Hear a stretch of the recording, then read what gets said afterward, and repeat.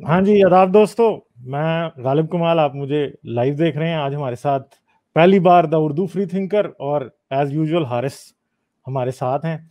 आज हम थोड़ी सी काफ़ी बातों पे डिस्कस करेंगे उर्दू फ्री थिंकर्स का जो है चैनल वो मैं एक दफ़ा आप लोगों को दिखा देता हूँ, ठीक है? और जिस जिसने सब्सक्राइब नहीं किया उर्दू फ्री थिंकर को, अभी तक जाके ज़रूर ये चैनल को सब्सक्राइब करें, ठीक है जी? तो ये है जी इनका चैनल ये चैनल और इनकी वीडियोस काफ़ी अच्छी हैं। मैं देख रहा हूँ काफ़ी अरसे से इनकी वीडियोस और अच्छी वीडियोस बना रहे हैं।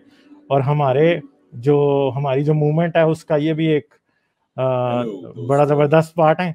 और एक तो जो इनकी एक खड़कदार किस्म की मोहम्मद अली वाली आवाज़ है वो भी एक बड़ी ज़बरदस्त है। ऐसा लगता है रेडियो ब्रॉडकास्टर है। ठीक है? तो ये चैनल है जी ये देख लें इसका नाम है द उर्दू फ्री थिंकर। और इस इस वीडियो के जो वीडियो का जो है डिस्क्रिप्शन उसके अंदर उर्दू फ्री थिंकर के चैनल का लिंक भी है उसके ऊपर जाके सब्सक्राइब कर लें। और देखें जी मैंने भी सब्सक्राइब नहीं किया हुआ था। और साथ ही ऑल नोटिफिकेशन जो है वो ऑन कर लें ताकि कोई भी ये नई वीडियो डालें तो जो है उसका उसका नोटिफिकेशन आपको मिल जाए। तो सर चैनल आपका एक दफ़ा अभी दिखाया फिर बाद में भी बीच में दोबारा जब सर आप थोड़ी पीक हम्म, तो फिर दिखाते हैं। तो हारिस भी हमारे साथ हैं। वैसे मेरी अभी जब उर्दू फ्री थिंकर से बात हो रही थी तो हम आज जो इमरान खान ने जो लैश आउट किया मैक्रोन के खिलाफ कि उन्होंने क्यों कार्टून्स लगाए बिल्डिंग्स के ऊपर तो हम उसके, उससे मेरे ख्याल है बात शुरू करते हैं। तो काफ़ी इस वक्त पाकिस्तान का अगर हम देखें ट्विटर ट्रेंड्स एक सेकंड मैं भी ये भी दिखा देता हूँ, एक दफ़ा। एक सेकंड जी। ये आपके पाकिस्तान का ट्विटर ट्रेंड जो है वो देखें जी सबसे ऊपर आ रहा है बाइकआउट फ्रांस प्रोडक्ट्स फिर मुस्लिम उमा ये भी इसी इसी से रिलेटेड है। इसके अलावा इल्ला रसूल अल्लाह या फर्नेसा ये ये एक ट्रेंड है शेमोन मैक्रोन ठीक है जी। Fascist France hurt Muslims Islamophobia फिर इसके बाद आप पीएम इमरान खान और फिर शेमन फ्रांस फिर इस्लाम ये सारा कुछ जो है वो आपके सामने है आज कि ये चीज़ें ट्रेंड कर रही हैं। आग लगे तो आप, दोनों, आप दोनों क्या बात करेंगे इसके बारे में? हारिस भाई आप पहले जाना चाहते हैं मैं जाऊँ?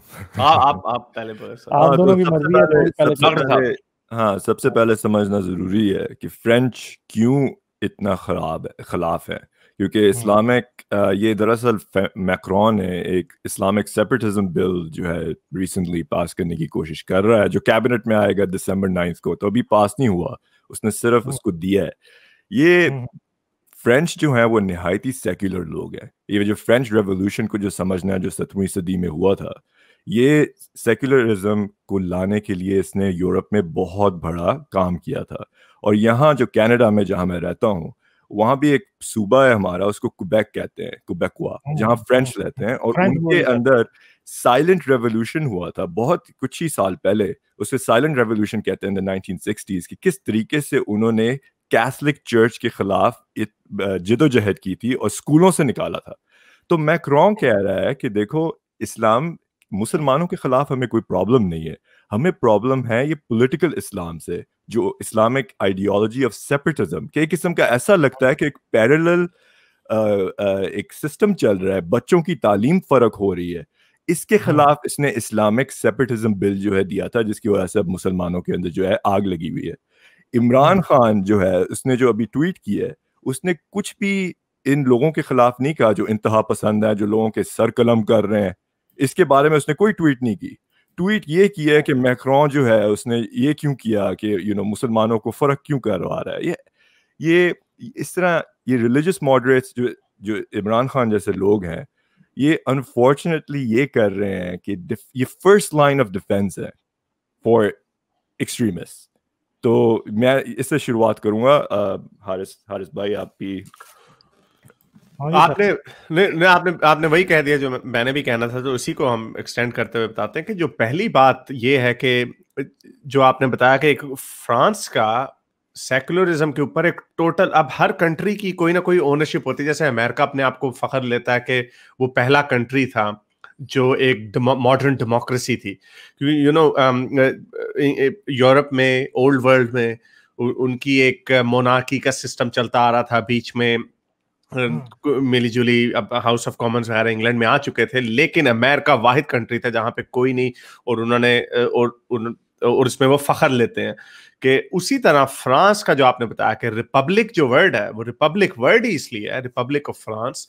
Republic synonymous है सेकुलरिज्म के साथ और ये फ्रांस के फ्रेंच लोग जो इसमें एक स्पेशल प्राइड लेते हैं। और यही वजह है कि फ्रांस जो है बाकी वेस्टर्न वर्ल्ड से डिफरेंट है। और जो आपने बताया साइलेंट रेवोल्यूशन का क्यूबेक का, उसका मुझे नहीं पता था, लेकिन फ्रांस सच जो है, उनकी रेवोल्यूशन में बड़े सर तन से जुदा हुए थे, गिलेटिन चले थे। उसकी। बहुत बड़ी वजह एक तो मोनार्की के खिलाफ था और दूसरा जो चर्च का जो अमल दखल है, स्टेट के अफेयर्स के साथ, उसको अलहदा करना था। तो अब वो यहाँ पे ये कहते हैं कि ये लोग कौन कौन लोग आ गए हैं जो हमें कहते हैं कि आप रिलीजन के ऊपर क्रिटिसाइज नहीं कर सकते। अब ये एक ऐसी चीज़ है कि हर कोई इस चीज़ में इंटरेस्ट नहीं लेता।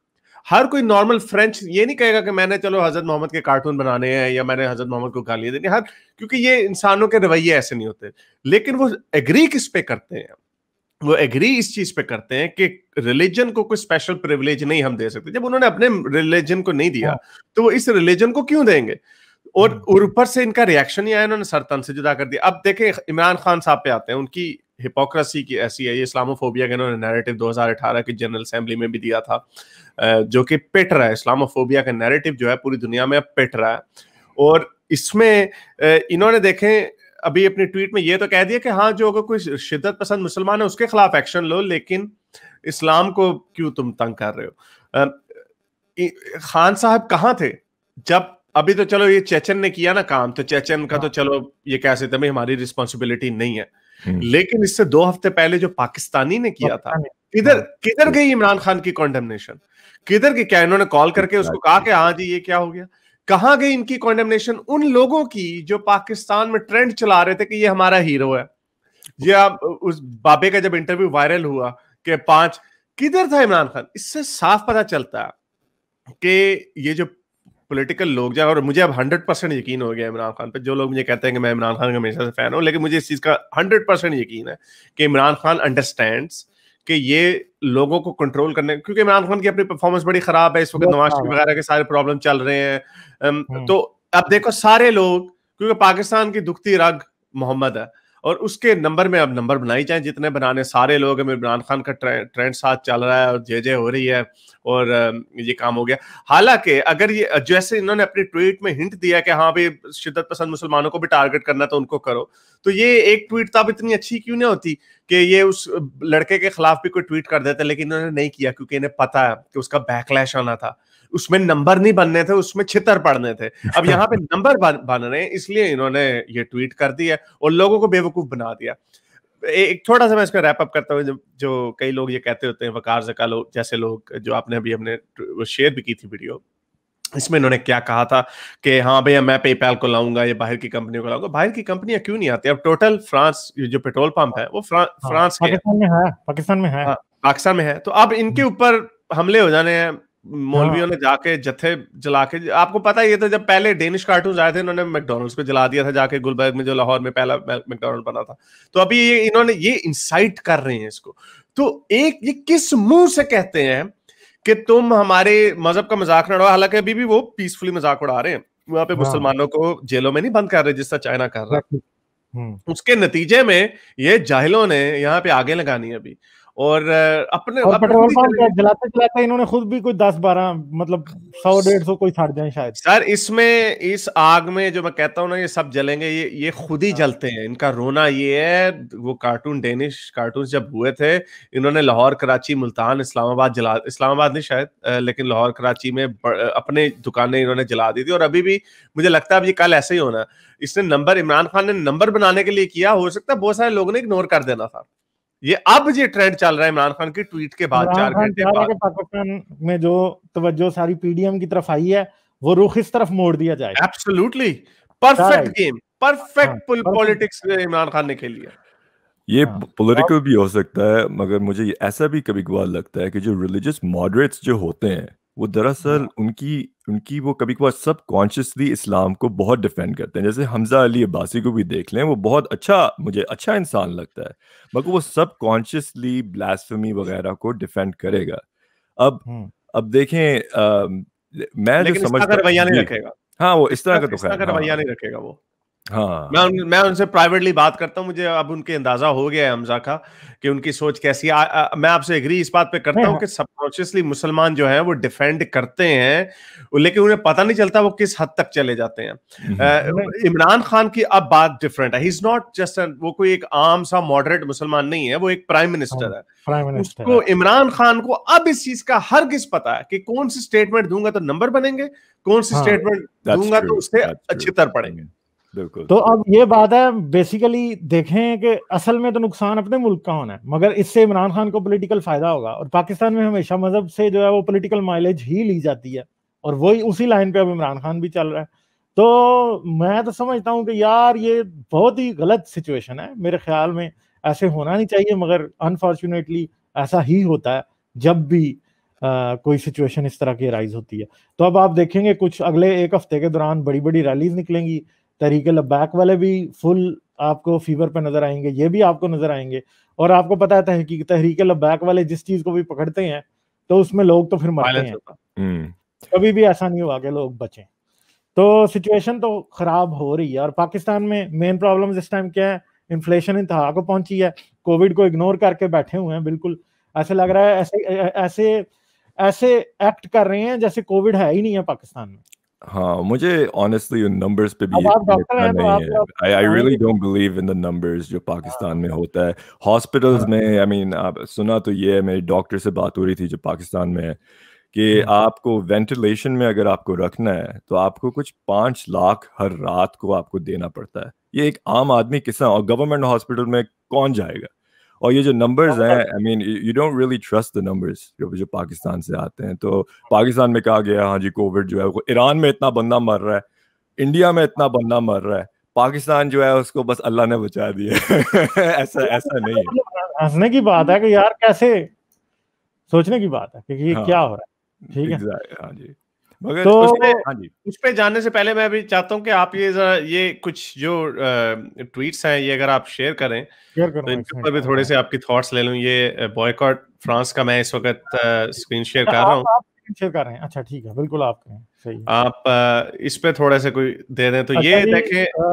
स्पार्टिकस ने भी हमें ज्वाइन कर लिया जी। Spartacus welcome to the show Spartacus हाँ जी। Hello thank you so much हाँ जी हाँ मेरी आवाज़ आ रही है? आ रही है आ रही है लाउड एंड क्लियर अच्छा जी हाँ। हारिस हारिस जी ये इसमें एक इसने ये जो पोस्टर बॉय है मुस्लिम उम्मा का लीडर इसने भी हाँ। शरारत कर दी जो कि ठीक है उसका हक है ये कहने का जो भी वो कहता है कि मैक्रॉन जो है वो पागल हो गया है उसको कुछ साइकेट्रिक हेल्प की ज़रूरत है हाँ। और ये इसने कोई स्टेटमेंट कुछ इस तरह की दी है एक अभी बड़ी मज़े की ट्वीट थी जो कुवैत के लोगों ने जो किया कि वो अभी इसकी वीडियो मेरी नज़र से गुजरी जिसके लिए मैं दिखाना चाह रहा था ये और अंसार अब्बासी की भी ट्वीट थी अंसार अब्बासी ने किया कुवैत सुपर तो अंसार अब्बासी के चैनल पे जाए ना तो आपको नज़र आ जाएगी। ठहरे ठहरे मैं आपको लिंक भेजता हूँ हारिस एक सेकंड ये ये नहीं मिल गया मिल गया मिल गया मिल गया। अच्छा, अच्छा तो ये अंसार अब्बासी ने ट्वीट किया कि पूरी इस्लामी उम्मिया उम्मा को चाहिए कि कुवैत को फॉलो करें और ये जो इन्होंने किया है इस पे लोग बॉयकॉट करें तो ये वीडियोस नीचे चल रही हैं ये आपको पता है इस वक्त पूरी इस्लामी दुनिया में कोयत का स्टेटस क्या है? हाँ,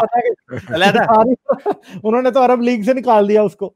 हाँ तो ये ये और ये देखें ये इस वक्त ये अपनी बेवकूफों की तरह अपना नुकसान करें बल्कि इससे कुवैत को फ़ायदा हो रहा है फ्रांस को फ़ायदा हो रहा है। अब ये इन्होंने देखे बड़ी मज़े की ये इन्होंने चलाई है इनको इन्होंने इसमें इसमें ये जो सारी प्रोडक्ट्स हैं ये जो सारी सो कॉल्ड प्रोडक्ट्स हैं।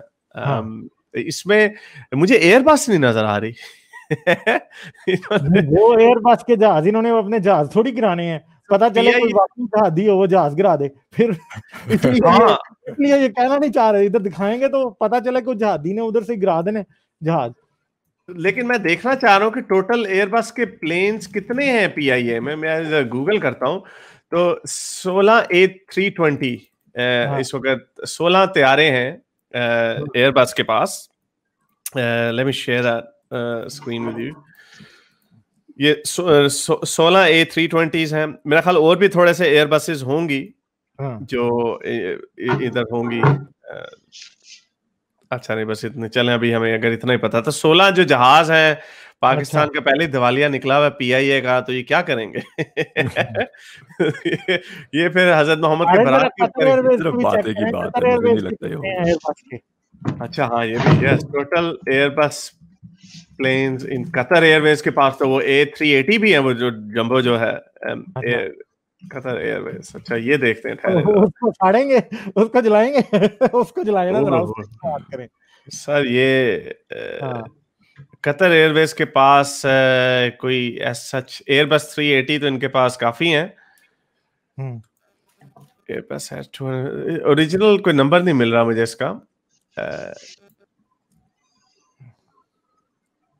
लेकिन बहुत सारे ऐसी ये अब आपकी जो दुबई है उनकी भी उनके पास भी एमिरेट्स में भी बहुत सारे एयर बसेस हैं और अब जस्ट ट्राइंग फाइंड चलें आपको इस पे कोई बात करें मैं उतनी देर ये डेटा निकालता हूँ वैसे। हाँ, तो स्पार्टिकस आपने भी उर्दू फ्री थिंकर्स का चैनल देखा ही है तो हाँ मेरे तो चैनल पे इन्होंने मेरे तो हाँ, चैनल पे इन्होंने मेरी मुझे काफ़ी कमेंट्स आते हैं कि इन्होंने अच्छा। जो है ना वो यूट्यूब को काफ़ी ज़्यादा को पैसे वैसे लगा के मेरे चैनल पर जो एडवर्टाइजमेंट आती है ना तो उर्दू फ्री थिंकर की आती है। तो मैंने ये मैं, मैंने मैंने ये चैनल मैंने अभी ये स्ट्रीम ज्वाइन इसलिए की थी मैं इनको कहने लगा था कि ये जो पैसे आप उनको दे रहे हैं ना यूट्यूब को ये मुझे दे दें। मैं, आपका चैनल प्रमोट कर दूँगा। हम प्रमोट कर देंगे। हम प्रमोट कर देंगे। हाँ ये हाँ नहीं नहीं नहीं बिल्कुल ठीक है मैं अभी आप सबसे कोलैबोरेट अब कर रहा हूँ। मेरा मैं ये मैं ये एक्चुअली मेरी साइट की जैसे मेरा एक किस्म का समझ लें कि चैरिटी वर्क है मेरा कि मैं अपना टाइम लगा रहा हूँ। कि मैं हाँ, एक एजुकेशनल वीडियोस बनाऊँ।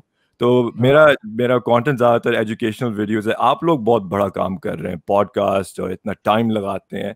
मेरे ये बहुत मैं अप्रिशिएट करता हूँ। मेरे पास इतना टाइम नहीं है तो मैं जितना टाइम हो मैं कोशिश करता हूँ कि एजुकेशनल वीडियोस बनाऊँ। और फिर मैं इसको एज अ फिर मैं यूट्यूब में एडवर्टाइजमेंट भी करता हूँ वगैरह इस तरह की सब चीज़ें करता हूँ। मगर मैं आप सबकी अब मैं क्योंकि मैं आप जानता हूँ आप सबको मैं आपको सपोर्ट बल्कि किया करूँगा thank you so much sir thank you so much एक तो चीज़ मुझे मुझे यहाँ पर एक चीज़ ये ऐड करनी थी। एक तो ये था कि हमें खास तौर पे हमने जो एक्टिविज्म शुरू किया है जिसमें ये गालिब काम कर रहे हैं हारिस काम कर रहा है इन इन इन दोनों ये दोनों मुजाहिद हैं। बेसिकली ये एथियस्ट वर्ल्ड के मुजाहिद हैं और इन मुजाहिदों की जितनी तारीफ़ की जाए वो कम है। मैं जामे शहादत ना नोश कर ले कहीं।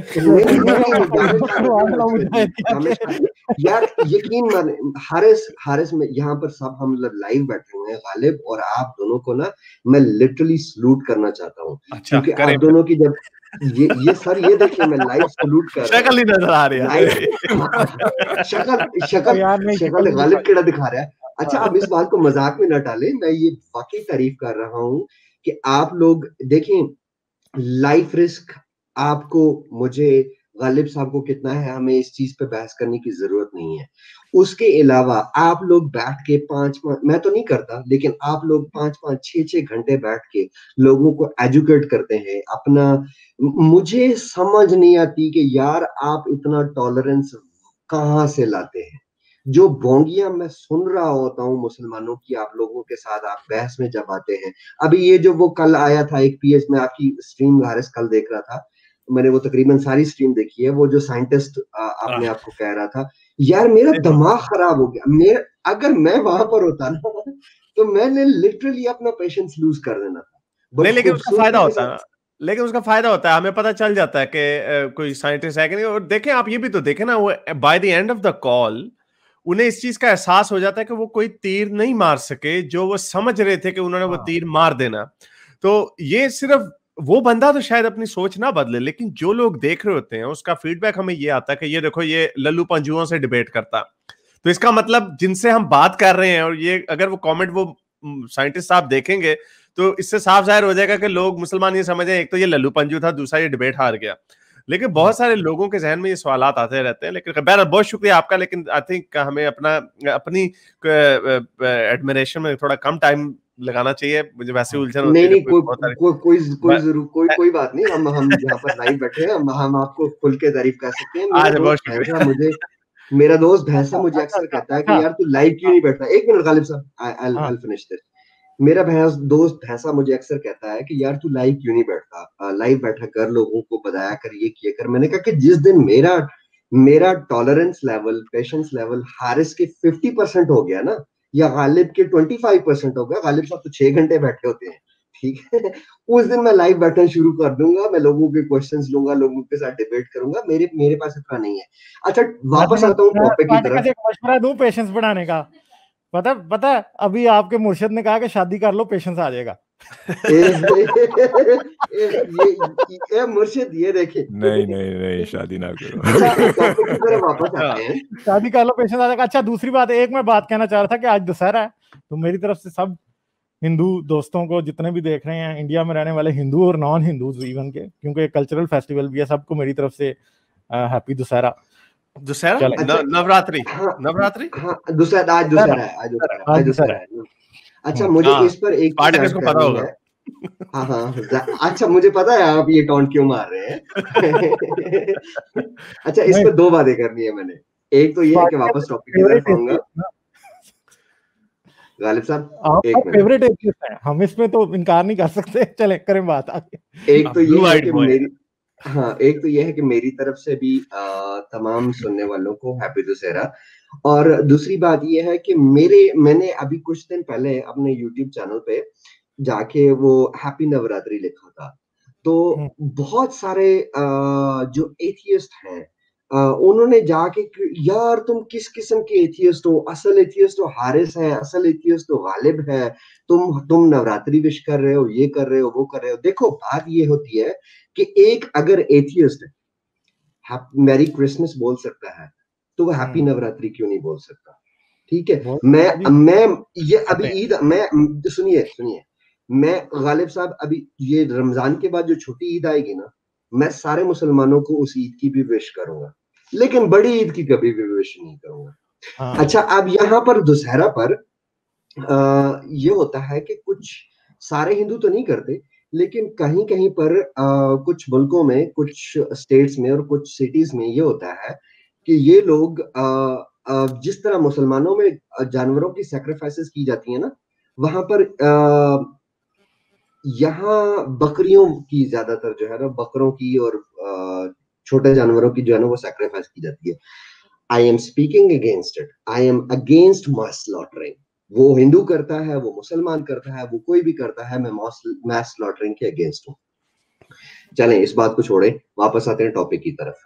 अच्छा हाँ चलें आप बात कंप्लीट करें फिर हारिस ने स्क्रीन शेयर हाँ, किया। मैंने सिर्फ़ सिर्फ़ दो चार चीज़ें ऐड करनी दो चीज़ें ऐड करनी थी वो ये करनी थी कि देखें आज ये फ्रेंच प्रोडक्ट्स का बायकॉट कर रहे हैं ठीक है? इन्होंने इससे पहले जब वो डेनमार्क में हुआ था 2015 में शायद हुआ था डेनमार्क में। जब पाँच में सॉरी तब आ, एक मुनजम किस्म की कंपेन चलाई गई थी क्योंकि डेनमार्क की ज़्यादातर प्रोडक्ट जो है वो डेयरी प्रोडक्ट्स हैं। तो डेनमार्क की प्रोडक्ट्स को जो है वो बायकआउट करने के लिए। उसके बाद इन्होंने एक मुनजम कंपेन चलाई थी नेदरलैंड की प्रोडक्ट्स को आ, उस आ, करने के लिए बैकआउट करने के लिए। क्या उखाड़ लिया यार? आप कुछ भी नहीं कर सकते आप कुछ भी नहीं कर सकते। ये तो वही बात होगी कि सेवेंटी सीसी स्कूटर से आप जो है ना वो एक ट्रेन को खींचने की कोशिश कर रहे हो। आप नहीं कर सकते। दूसरी बात यह है कि इमरान खान का ट्वीट पढ़ के मेरा अपना दिमाग खराब हो गया कि भाई आज से दो दिन पहले मैंने अभी वो पीस स्कूल्स के नाम से एक वीडियो बनाई है। वहाँ पर मंदिर टूट रहे हैं वहाँ पर हिंदुओं की लड़कियाँ क्रिश्चियंस की लड़कियाँ हारे अभी कुछ दिन पहले लास्ट स्ट्रीम में बता रहा था एक तेरह साल की क्रिश्चियन लड़की को जो है वो किडनैप किया गया है उसे रेप किया गया है उसकी ज़बरदस्ती एक पचास साल के बुढ़े से शादी करवा दी गई है। इमरान खान का इस्लाम वहाँ पर कहाँ चला जाता है? वहाँ क्यों नहीं जाता? मदीना की रियासत की बातें जब करना शुरू हो जाता ना अपनी तकरीरों में मेरा सरकार मदीना की रियासत तो फिर सही वाली मदीना की रियासत है। मदीना की रियासत तो लूट मार की बेस पे खड़ी हुई थी। एग्जैक्टली यस तो मदीना की रियासत अगर एक्चुअल मदीना की रियासत है यस. अच्छा। मगर बात यह है कि इसका फिर सोल्यूशन क्या है? सोल्यूशन हमें ढूंढना है। सोल्यूशन है कि देखें मैं ये समझता हूँ कि रिलीजियस मॉडरेशन जो है उस पर हमें फोकस करना चाहिए। क्योंकि रिलीजियस मॉडरेट्स जो होते हैं दरअसल इंतहा पसंद जो एक्सट्रीमिस्ट हैं उनकी फ़र्स्ट लाइन ऑफ़ डिफेंस होती है। और रिलीजियस मॉडरेट्स दरअसल है क्या? ये ये मज़हब को समझने की बातें नहीं है। दीन के बारे में नहीं है। ये मज़हब को ये दरअसल एक समझ लें कि इल्म, लाइक इल्म की ना कमी और सेक्युलरिज्म की शादी है। तो इनको दरअसल हमने जो है ना देखना है कि आप क्या अपने दीन को समझते हैं, अपनी किताबों को समझते हैं या अपनी सोच को, अपने अपने 21वीं सदी के ख्यालातों को अपनी किताबों पे मुसलत करते हैं। और फिर उसके बाद आप जो है सब चीज़ों को इग्नोर करना शुरू कर देते हैं। इंतहा पसंदों को इग्नोर करना शुरू कर देते हैं और जो इंतहा पसंद है, उनकी नज़र में तो आप काफिर हैं। उनकी नज़र में तो आप दरअसल सही मुसलमान ही नहीं है, क्योंकि आप सही अकीदे को समझते ही नहीं है। तो ये इतना बड़ा तजाद है, इतनी बड़ी कॉन्ट्रडिक्शन है, जिसको हमें एड्रेस जो है वो करना चाहिए। क्योंकि आई रियली थिंक कि चाहे इमरान खान अब पॉलिटिकल है या जो भी है, बुनियाद एजुकेटेड मुसलमानों की पाकिस्तान में और बर सग़ीर में, बर सग़ीर के बाहर। यही है कि वो सब कॉन्शियसली इस्लाम को जो है डिफेंड कर रहे होते हैं, आयातों को इग्नोर करते हैं, कहते हैं, नहीं नहीं नहीं, पिक एंड चूज़ करते हैं। मज़े की बात यह कुरान खुद कहता है सूरत बकरा में, आयत नंबर 85 कि तुम क्या कुछ आयातों को मानोगे और कुछ को इग्नोर करोगे? तो मगर ये मॉडरेट मुसलमान यही कर रहे होते हैं। कुछ चेरी पिकिंग कर रहे होते हैं, मैंने इसको मानना है, मैंने इसको नहीं मानना। अच्छा यहाँ लौंडियों का ज़िक्र है। धी नहीं नहीं मैं नहीं मानूँगा। हालाँकि कुरान कहता है, मलकत ईमान हुकुम ठीक है? यानी लौंडियाँ, जो तुम्हारी हाथ की कमाई है, उनको ऐसा, ऐसे तरीके से औरतों को बयान करता है।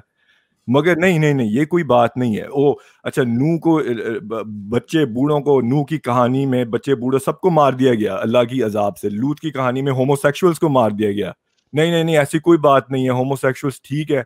हम, हमें हमें होमोसेक्सुअल से प्यार है। कुछ लोग हदीसों को नहीं मानते, कुछ लोग कुछ हदीसों को मानते हैं, कुछ लोग आयातों की तर्जमानी फ़र्क करते हैं। ये क्या है? इन, ये ये मेंटल जिमनास्टिक्स को दरअसल हमने देखना है और इसको आई थिंक सोल्यूशन इसके फ़र्स्ट लाइन ऑफ़ डिफेंस पे हमला करना है। क्योंकि दैट हमने उनको we have to call spade spade we have to say देखो, तुम लोग you are the first you are actually aiding and abetting extremist exactly ऐसी बात है। अच्छा हारिस आपने स्क्रीन शेयर की थी जरा उस बात को कंप्लीट कर लें क्योंकि बीच में आधी रह गई हुई है। हाँ ये ये अभी निकला है कतर एयरवेज के देखें इनके पास जितने भी जहाज़ हैं या तो एयरबस के हैं या बोइंग के हैं एयरबस के तो, इनके टोटल फ्लीट में 178 जहाज़ है जिनमें से आ, कुछ बोइंग के हैं लेकिन ओवरऑल टोटल ये मैं कैलकुलेशन करके भी हटा हूँ सेवेंटी सेवन जहाज़ जो हैं वो एयरबस के हैं। हम्म। इनके पास। तो ये ओ नहीं सॉरी ये तो गलत हो गया मेरा। ये तो मैंने सिर्फ़ इन सर्विस वाले जहाज़ है क्योंकि आज आजकल कोरोना की वजह से मोस्टली जहाज़ पार्किंग में है तो इच्छा नहीं इसका दूसरा टोटल जो है वो तो दूसरी तरफ़ है। ओहो सही तो और ज़्यादा हो गया। ये हो गया सर हंड्रेड एंड नाइनटी एक सौ नब्बे के करीब जहाज़ इनके पास एयरबस के हैं। तो एक सौ नब्बे जहाज़। एक और भी तो मेरी बात सुने कई इस्लामी मुल्कों ने रफाइल तैयारे और फ्रांस से मिग भी सारे मिग भी रिटायर करे ना पाकिस्तान में यूज़ हो हाँ। रहे हैं। वो हाँ, मिग नहीं है वो कौन से हैं यार? जो फ्रेंच मेड है मिराज है मिराज है। मिराज यस मिराज रिटायर पहले सबसे ज़्यादा उसको उनको तो रिटायर करें ना फिर फिर बात करेंगे ये। या कहेगा हाँ मैं आया। हाँ, वो उधर से वो उधर से मैक्रोन ने ऐलान कर देना मैंने अब मिराज के स्पेयर पार्ट्स नहीं देने। इधर किसी मुसलमान को देने? हाँ उसने इमरान खान ने मुर्गा बन जाना मैं आपको बता दूँ। कान खा जाने मुर्गा ही है ये सब बातें हो रही है अच्छा सर सर वैसे चेक करें। एक तो चलो ये फ्रांस है ना जिसने कार्टून दिखाया लेकिन जो अमरी जो पाकिस्तान में जिससे जिस मुल्क से सबसे ज़्यादा नफरत की जाती है मेरा ख्याल आफ्टर इंडिया या इन सम केसेस इंडिया से ज़्यादा जो सबसे ज़्यादा नफरत की जाती है वो अमेरिका से की जाती है। हाँ। बाकी के जहाज़ इनके पास या तो बोइंग के हैं या फ्रांस के हैं। या एयरबस ठीक है फ्रांस और जर्मन और जर्मनी और यूके इंग्लैंड में कुछ बीच में से स्पेन का भी हिस्सा लेकिन वेस्टर्न हाँ। यूरोप ही है जो इसमें शामिल है। हाँ। तो इनके पास और तो कुछ है ही नहीं। वो हसन सार सही कहते ये तो सुई भी नहीं बना सकते तो इन्होंने क्या किसी को क्या इन्होंने सीधा करना? यानी यार आप क्या वो बड़ी अच्छी मिसाल दी और के स्कूटर से जहाज़ खींच रहे ट्रेन खींच रहे निकले हैं। हाँ, ये तो है। तो पहले तो सबसे पहले जरा ये मिराज तैयारे जलाओ ना सबसे पहले तो। इधर जलाओ एयर बस के तैयारे जितने हैं वो जलाओ जरा साड़ो सारा कुछ। उसके बाद फिर फ्रांस का बाइकाट करना। इन्होंने बाइकाट करना है। हमारा हीरो तो अर्दोगान हो चुका है। ये एक किस्म का big brother of Imran Khan. जो भी अर्दुगान करता है वो इमरान खान ने करना होता है। इसराइल को रिकॉग्नाइज करके और और टर्की इसराइल के तो एम्बेसडर्स को नहीं निकालता। हाँ। मगर ये बड़ा ये भी एक बहुत खुला तजाद है एक किस्म का टर्किश पॉइंट ऑफ़ व्यू का अच्छा, मगर कतर ने कतर ने कतर ने एक्सेप्ट किया इसराइल को कि नहीं? कतर, कतर ने अभी नहीं किया अभी नहीं किया वो कह रहे हैं करना। हाँ तो कर लेंगे बस फिर छोड़ें ये वैसे बातें कर रहे हैं। आ, और जो हाँ। चीन में जो हो रहा है मुसलमानों के साथ वो तो कुछ नहीं है शिंजान के जो प्रोविंस में उसके बारे में बिल्कुल इमरान खान की जबान ही नहीं है। आप हाँ। कहते हैं मुर्गा बन जाएगा वो तो मुर्गा ही है किस्म का बना हुआ है आई डोंट थिंक ये इसमें कोई दम है इस बात में this is just political talk जो आपने शुरू में जो बात की थी ना दैट्स वेरी ट्रू मुर्गा पीरनी का मुर्गा है सदके में दे देना उसने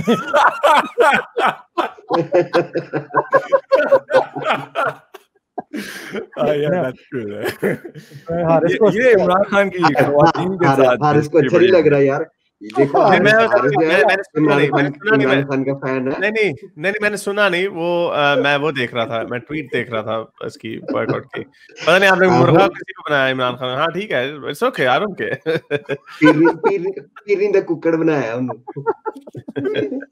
Good good keep it up I I think I think जब कोई जब कोई पॉलिटिशियन बन जाता so everything is fair game as far as criticising his his person is concern यानी उसकी, इमरान खान की जितनी जो, ये सब फेयर गेम है।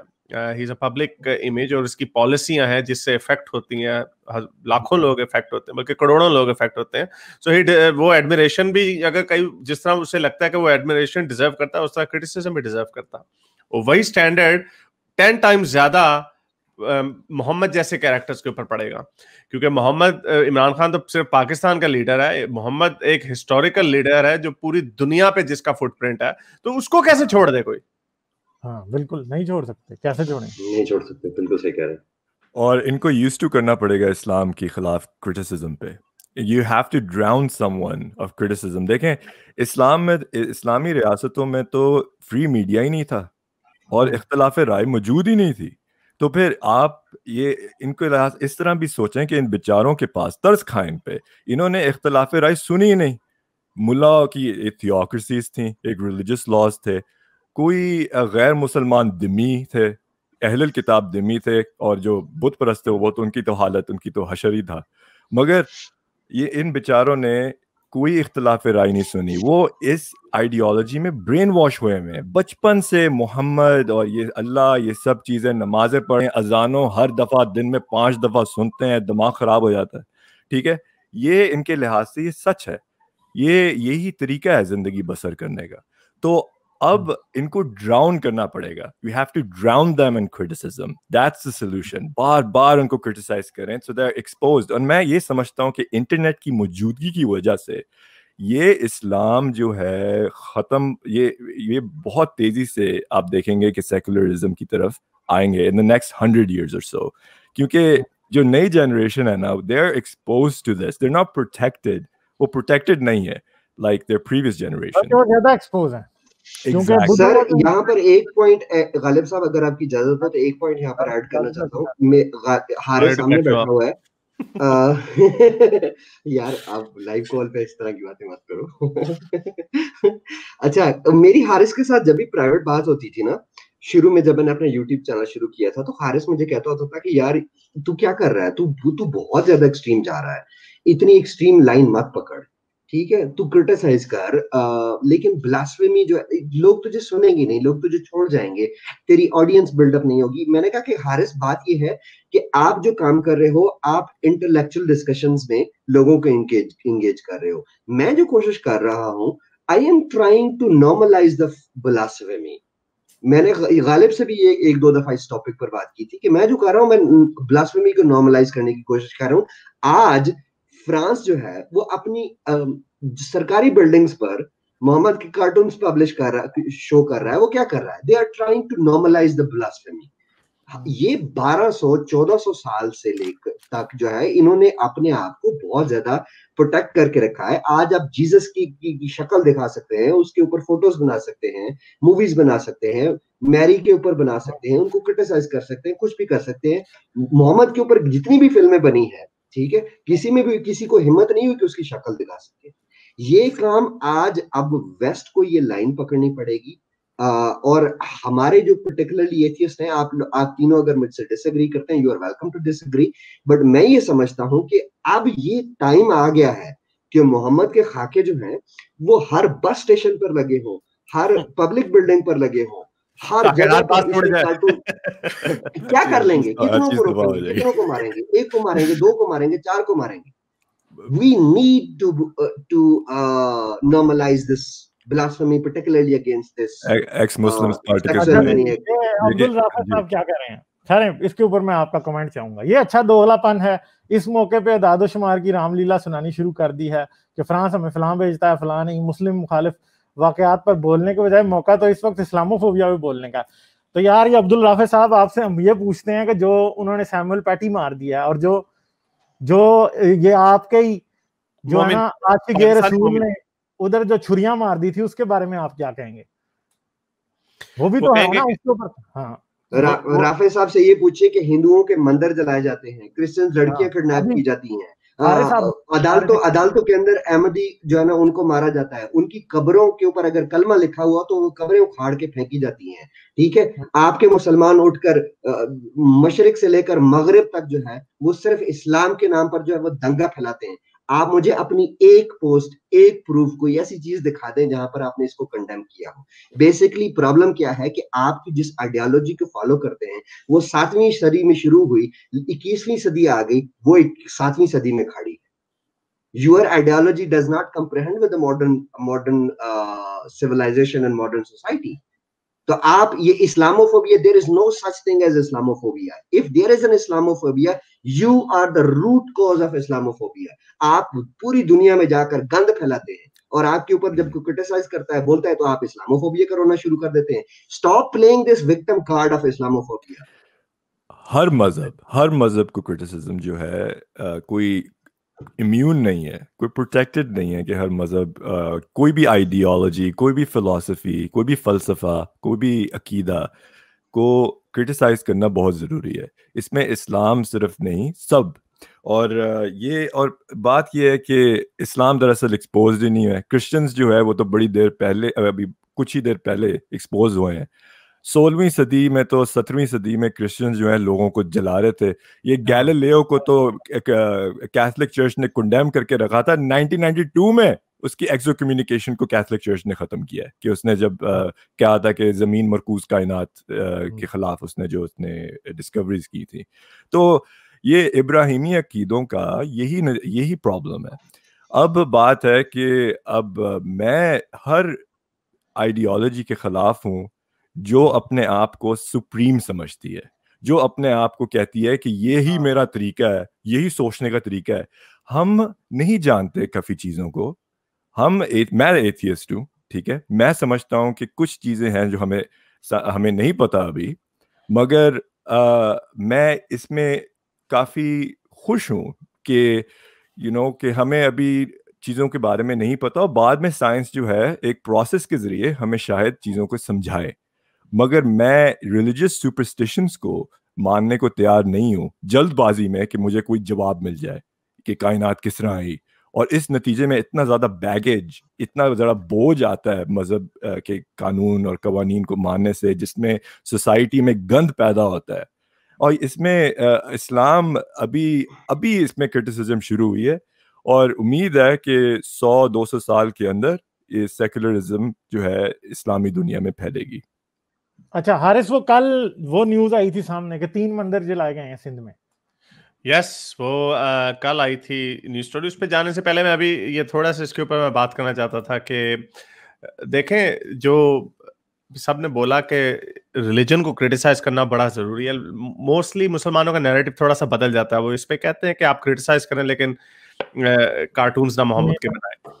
और मोहम्मद के कार्टून्स पे भी कुछ लोग कहते हैं कि अगर अच्छा बनाने भी हैं तो वो उस तरह के ना बनाओ जो रेसिस्ट किस्म के होते हैं कि सर पे बम रखा हुआ है, गंदी सी शक्ल बना दी, दांत टूटे हुए वगैरह वगैरह।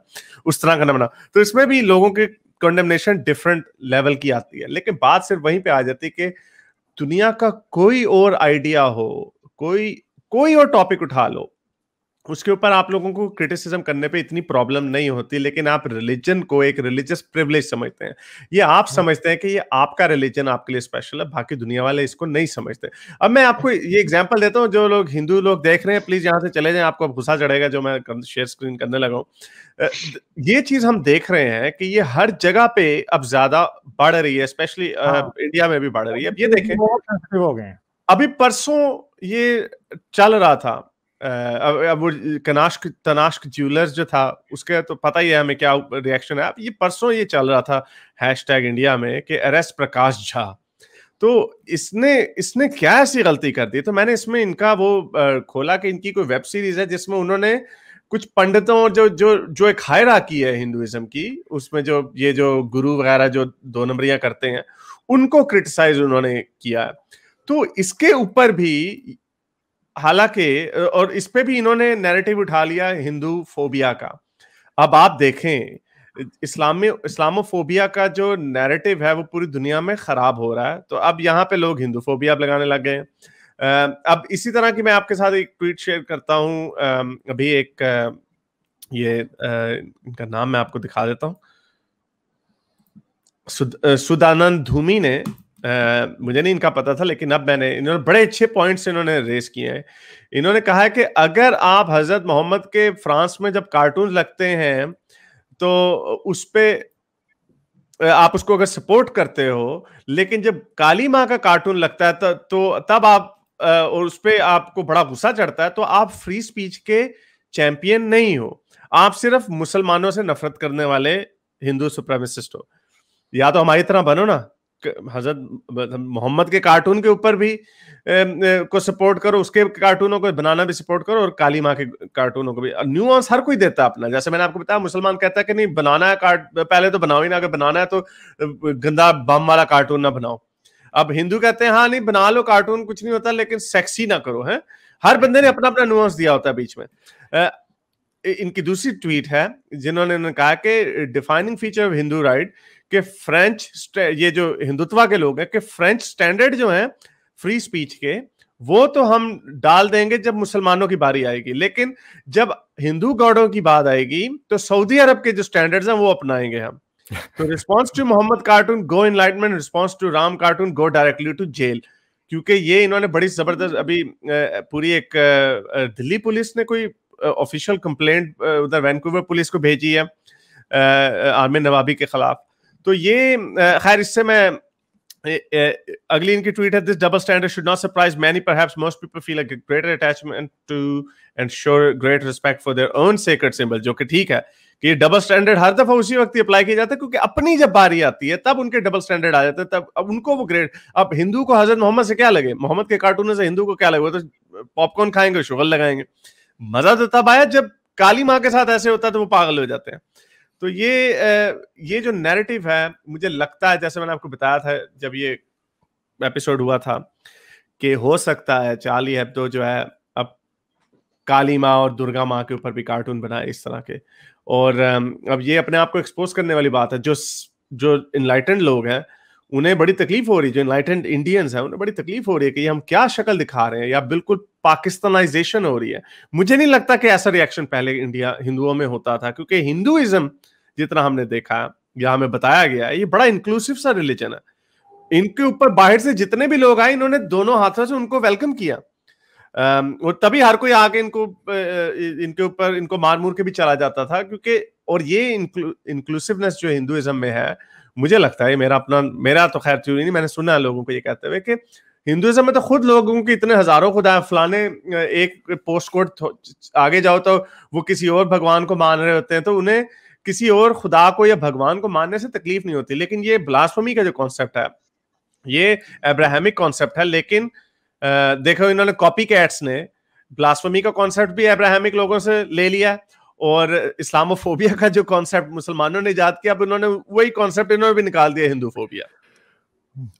बड़े हाँ। सगीर में मुसलमान जो हैं और हिंदू और ईसाई बहुत रिलीजियस हैं। ये जानना हाँ, ज़रूरी है कि बड़े सगीर के लोग बहुत रिलीजियस हैं सब कॉन्टिनेंट के लोग। और वो मज़हब में अपने आप को डिवाइड करते हैं सिख को अपने कौम मुसलमान अपनी कौम हिंदू अपनी कौम। और फिर इसी नज़रिए से टू नेशन थ्योरी आई जो फिर पाकिस्तान के अलग होने से बिल्कुल चले गई क्योंकि बांग्लादेशी बहुत ही फ़र्क है वो एक सेपरेट कॉम है। तो जब हम्म। तक हम अपने मज़हब को हम घर में महदूद नहीं रखते तब तक ये प्रॉब्लम रहेगी। इंडिया का आइडिया जो नेहरू का जो आइडिया था वो बहुत अच्छा था कि इंडिया एक सेक्युलर रियासत हो। और ये आइडिया को मैं तस्लीम करता हूँ मैं समझता हूँ कि सेक्युलर रियासत होना ज़रूरी है। एक इतना डाइवर्स सब कॉन्टिनेंट ऐसा समझें कि ये यूरोप है बड़े सखीर एक किस्म का कॉन्टिनेंट है बंगाली और पंजाबी फ़र्क लोग हैं। ऐसा समझते हाँ। जर्मनी और रोमेनियंस फ़र्क है। तमिलनाडु से पंजाबियों का कोई ताल्लुक नहीं है फ़र्क लोग हैं वो ठीक है? हम एक जबान बोलना शुरू हो गए हैं अब हिंदी उर्दू वगैरह मगर हम फ़र्क लोग हैं। एक नज़रिया को आप सब पे मुसलत नहीं कर सकते। इस तरह आगे दुनिया नहीं बढ़ेगी इस तरह इंसान आगे नहीं बढ़ेगा। तो ये ये जानना बहुत ज़रूरी है। ये you have to be very moderate और uh, अपने मज़हब को प्लीज़ आप अपने घर में रखो। अच्छा भाई तकरीबन साढ़े पाँच सौ लोग देख रहे हैं और सर वो, वो मेरे से वो वो मेरे से गलत वो, वो आपने मुझे वो आपने मुझसे एक सवाल पूछा था वो हिंदुइज्म हाँ के वो जो टेंपल जो हुआ उसके भी कल भी मैंने ये रिपोर्ट आपके सामने शेयर की थी। तो अच्छा। तो ये मैं अब दोबारा दिखा दूँ लोगों को इस स्ट्रीम में भी के सॉरी किधर गया ये? अच्छा थोड़ा सा इस पे कमेंट कर देते हैं ये फेसबुक पे एक कमेंट आया है। वो कहते हैं ना दहशतगर्द का कोई मज़हब नहीं होता। लेकिन यहाँ साइंसदानों सियासतदानों साजा को मज़हब से तोला जाता है। इस पर भी बात होनी चाहिए। मिसाल के तौर पे आतिफ मियाँ और डॉक्टर अब्दुल सलाम। आतिफ exactly. मियाँ को कराची में आईबीए में एक लेक्चर देना था सिर्फ़ एक दिन का और उससे रोक दिया गया सिर्फ़ और सिर्फ़ तहरीक बैक ने और सारे राइट विंग जितने मौलवी हैं वो सब बोल पड़े। और अब आतिफ मियाँ जो है he can not come here and lecture the students जो कि डिजर्व करते थे स्टूडेंट्स के उनको आतिफ मियाँ जैसे वर्ल्ड क्लास इकोनॉमिस्ट का लेक्चर मिले मगर नहीं दिया गया। ये हमें ट्विटर पे हैशटैग चलाना चाहिए कि इस्लामोफोबिया इस्लामोफोबिया रोते रहते तो अहमदी फोबिया कब खत्म करोगे अपने मुख से? डेफिनेटली तो ये अब थोड़ा सा यहाँ पे टायरेंट टैक्स कह रहे हैं। Hindus are becoming extreme due to Islamic radicalisation इस बात से तो हम एग्री करते हैं। There will be a civil war in India due to the fanatic Muslim and Hindu fanatic counter attack मसला ये है कि आप लोगों को बीच का रास्ता निकालना है ना। हम हर वक्त ये बात करते हैं कि सेकुलरिज्म को आगे बढ़ाओ। हिंदू और मुस्लिम सोच के बजाय सेकुलरिज्म को आगे बढ़ाओ तो तब ये जंग नहीं होगी। वरना हाँ ये वहीं पहुँचेंगे आप जहाँ पाकिस्तान। हारिस भाई ने इंडिया का जो सेकुलरिज्म है ना बेसिकली uh, अगर आप उस सेकुलरिज्म को थोड़ा सा हारिस मुझे पता तुम क्यों हंस रहे हो? भागता आया भागता। इंडिया का जो सेकुलरिज्म है ना वो बेसिकली मैं उसको सेकुलरिज्म कहता ही नहीं वो बेसिकली एक सेकुलरिज्म है। मैं उसकी छोटी सी एग्जांपल आपके सामने रखता हूँ। वो एग्जांपल ये रखता हूँ कि देखें एक अगर एक हिंदू लड़की है उसको किसी मुस्लिम लड़के से लव हो जाती है उसने शादी करनी है वो एक मिनट रुकिएगा। पूरी बात सुनिएगा। सुने ना सुने ना आपको अंडर आपको समझ आएगी कि बेसिकली इंडिया में सेकुलर लोगों से या सेकुलर मेंटालिटी से या सेकुलरिज्म से इन ये जिनको आप भक्त कहते हैं इनको प्रॉब्लम क्या है? प्रॉब्लम ये है कि मैं आपको आपको एक ये एक छोटी सी एग्जांपल देता हूँ इससे सारी चीज़ समझ आ जाएगी। हिंदू लड़की उसने कन्वर्ट हो जाना है मुस्लिम लड़का ऑफकोर्स वो बगैर उस जब तक मॉडरेट नहीं होगा वो शादी नहीं करेगा उसको मुस्लिम करेगा मुस्लिम करके शादी कर लेगा बच्चे हो जाएँगे सारा कुछ हो जाएगा। लेकिन अगर एक मुस्लिम लड़की किसी हिंदू लड़के से लव करती है उसको उससे शादी करनी है वो कन्वर्ट कर ही नहीं सकती। अकॉर्डिंग टू द कॉन्स्टिट्यूशन उसके ऊपर लॉ कौन सा लगेगा? मुस्लिम बोर्ड का लॉ लगेगा। अच्छा तो सरकार तो ये... आ, सरकार ये एक एक मिनट सर सर एक मिनट। प्रॉब्लम ये ऐसा नहीं है कि सारे के सारे पागल हो गए हुए हैं या सबका दिमाग खराब हो गया हुआ है या मुस्लिम हेट फैली हुई है ये इस तरह का कुछ है। प्रॉब्लम इंडिया के कॉन्स्टिट्यूशन में भी है इंडिया के मीडिया में भी है इंडिया की पॉलिटिकल पार्टीज़ में भी है। हाँ ये पता है हमें ये नैरेटिव सुना हुआ है हमने पहले। ठहरो ये नैरेटिव हमने सुना हुआ है ये पता है हमें। तो सुना हुआ है लेकिन ये नई बात नहीं है। नैरेटिव नहीं है। ये नई बात नहीं है। हाँ। तो नैरेटिव ही है ना रियलिटी का ही नैरेटिव बनता है ना। ये ये बन जाते हैं ना। हाँ तो चलो ये इसका तो नैरेटिव तो होता है ना वो। तो इसका इसका ये नैरेटिव जो है ये हमने सुना हुआ है इसमें कोई नहीं किसको गलत कह रहा कि ये ऐसा नहीं होना चाहिए। इसमें प्रॉब्लम ये होती है कि ठहर ये वाली नहीं मैं आपसे अभी अभी मैंने ये इंग्लिश की स्ट्रीम में अभी मैंने ये बात की है कि यहाँ पर देखें जब ये एरोस नाव ने जो ड्रामेबाजी की, इस तरह के जो लिबरल्स जो है, और पता नहीं किसी ने बताया कि एरोस नाव का जो सी है, वो मुसलमान है, जब ईद आती है तो ये इस तरह करते हैं, और जब नवरात्रि आती है तो ये शुगल लगाते हैं कि डू वांट के तुमने अपनी रात्रि मेरी नवरात्रि में डालनी है कि नहीं? मुझे पता है इस वजह से लोगों को ये, अगर इसको सेकुलरिज्म कहते हैं तो ये सेकुलरिज्म ठीक नहीं है। ठीक है, इसको कोई डिनाई नहीं कर रहा तो इसका सोल्यूशन ये तो नहीं कि फिर आप भक्त बन जाओ। या हिंदू सुप्रीमेसी ले आओ, फिर आप अपनी सेकुलरिज्म को ठीक करो ना। अगर डेमोक्रेसी खराब होती है तो इसका मतलब ये तो नहीं कि आप डेमोक्रेसी को खत्म करके बादशाह ला के बिठा दो। आप अपनी डेमोक्रेसी को ठीक करते हो ना। तो ये, इसका ये नैरेटिव इसलिए देना बिल्कुल ठीक नहीं है। आपकी कंप्लेंट जायज़ है कि इसमें प्रॉब्लम्स हैं और और इसमें फिर एक ऐसी भी तो हो जनाब हमारी जो सोच है, हमारी क्या सोच है? हम अगर आपको कहते हैं कि अब इस्लाम की हम ज़्यादा बजाते हैं और बीच में हम हिंदुइज्म को भी रगड़ देते हैं जहाँ पे हमें लगता है कि जो फजूल चीज़ें तो तो आ तो हमें हमारे ऊपर तो ये नैरेटिव नहीं ना चलेगा कि भाई ये कैसे हारिस भाई आपकी कैसी एथिज्म है? आप तो सिर्फ़ हिंदुइज्म के बारे में ही बोलते हैं इस्लाम अरे भाई इस्लाम के बारे में तो हम ज़्यादा बोलते हैं हिंदुइज्म की तो जो हमारी जो सोच है क्योंकि ये दरमियाने रास्ते की सोच है ये न्यूट्रल सोच है यही सोच ज़्यादा पॉपुलराइज होनी चाहिए। तो इसका सोल्यूशन जो सेकुलरिज्म है इसका इसका सोल्यूशन बेहतर सेकुलरिज्म है। सेकुलरिज्म को खत्म करके कुछ और हिंदुइज्म या कोई हिंदू राष्ट्र बना देना ये ठीक नहीं है। लेकिन मैं इसके ऊपर अभी ये बात आपसे करना चाहता था कि बात फिर इधर उधर हो जाती है ये स्क्रीन सर शेयर करें आप आम, कि जो पाकिस्तान में जो हो रहा है देखें चाहे हिंदुइज्म हो कोई रिलीजियस आइडिया कहीं का भी नहीं होना चाहिए। ये एक dead dead form of government governance है, ये रह चुका है। अब इसकी इसकी कोई मॉडर्न दुनिया में कोई ज़िंदगी नहीं है कोई कोई जगह नहीं है। हम जानते हैं इस पाकिस्तान में इसका क्या कंडीशन है। ये देखें ये अभी सिंध में ये सारे काम हुए हैं। मंदिर तोड़े गए हैं। तीन मंदिर हैं, यहाँ पर चोरी भी की गई है। और इनमें जो ये तीन मंदिरों के नाम मुझे नहीं पता था, ये किसी ने भेजे हैं, मेरे हिंदू जासूस ने से, हमारे पाकिस्तानी हिंदू ने भेजे हैं। जिसमें उन्होंने कहा कि ये एक देवी स्टैच्यू तोड़ा है हिंगलाज माता टेंपल में टंडू मोहम्मद खान शहर में और एक सिटी धरकी आपने बोला था? धरकी धरकी हाँ धरकी धरकी। से याद रखूँगा। धरकी। हाँ। तो ये ये इन्होंने ये इस तरह का इन्होंने कहा और देख लो वो लड़का डरा उसने कहा प्लीज़ मेरा नाम अपना ना कहीं पे बताइएगा हारिस भाई। तो ये किसी भी लोगों को हर बंदे को ये लगता है कि अगर हमारा रिलीजन अपने ट्रू फॉर्म में डाल दिया जाए तो वो सबसे अच्छा होगा। मुसलमान कितना कहते हैं कि पाकिस्तान में इस्लामी निज़ाम सही है नहीं ना अगर सही निज़ाम होगा तो फिर ये काम नहीं होगा। हमें पता है कि अगर सही निज़ाम जिसको ये सही हाँ, कह रहे हैं तो आएगा तो वो खराब होगा काम। फिर तो ऐसी की तैसी हो जाएगी कोई इंसान ज़िंदा नहीं बचेगा फिर तो। आ, हाँ, सही सही निज़ाम जो था वो तो दाइश यानी आइसिस लाता था। सही प्रॉपर हाँ। इस्लाम जो होमोसेक्सुअल्स को बिल्कुल छत पे फेंकना हाँ बिल्कुल सही इस्लाम जो था वो तो वो नाफिज कर रहे थे। तो ये तो अच्छा, ये तो, ये तो मज़ाक है sorry to cut you off एकदम मैं दोबारा बता दूँ कि भाई उर्दू फ्री थिंकर आज हमारे साथ हैं इनके चैनल का लिंक जो है वो डिस्क्रिप्शन में है वीडियो की उस पर क्लिक करें और चैनल को जाके सब्सक्राइब कर लें ठीक है? तो ये भी हमारे दस्ते के खरावल सिपाही हैं तो बड़ा अच्छा काम कर रहे हैं और इनको आप लोगों की हौसला अफजाई की ज़रूरत है आपकी हेल्प की ज़रूरत है तो जाके चैनल को सब्सक्राइब करें और सारा कुछ फिर आपको देखने को उधर मिलेगा। ठीक है अच्छा जी कंटिन्यू करें अपनी बात। हाँ जी तो मैं कहना चाह रहा था कि देखें इन, आ, इंडिया की जो सेक्युलरिज्म है वो सही शायद ना है नहीं है। तो फॉर इंस्टेंस पैरेलल लॉज नहीं होने चाहिए।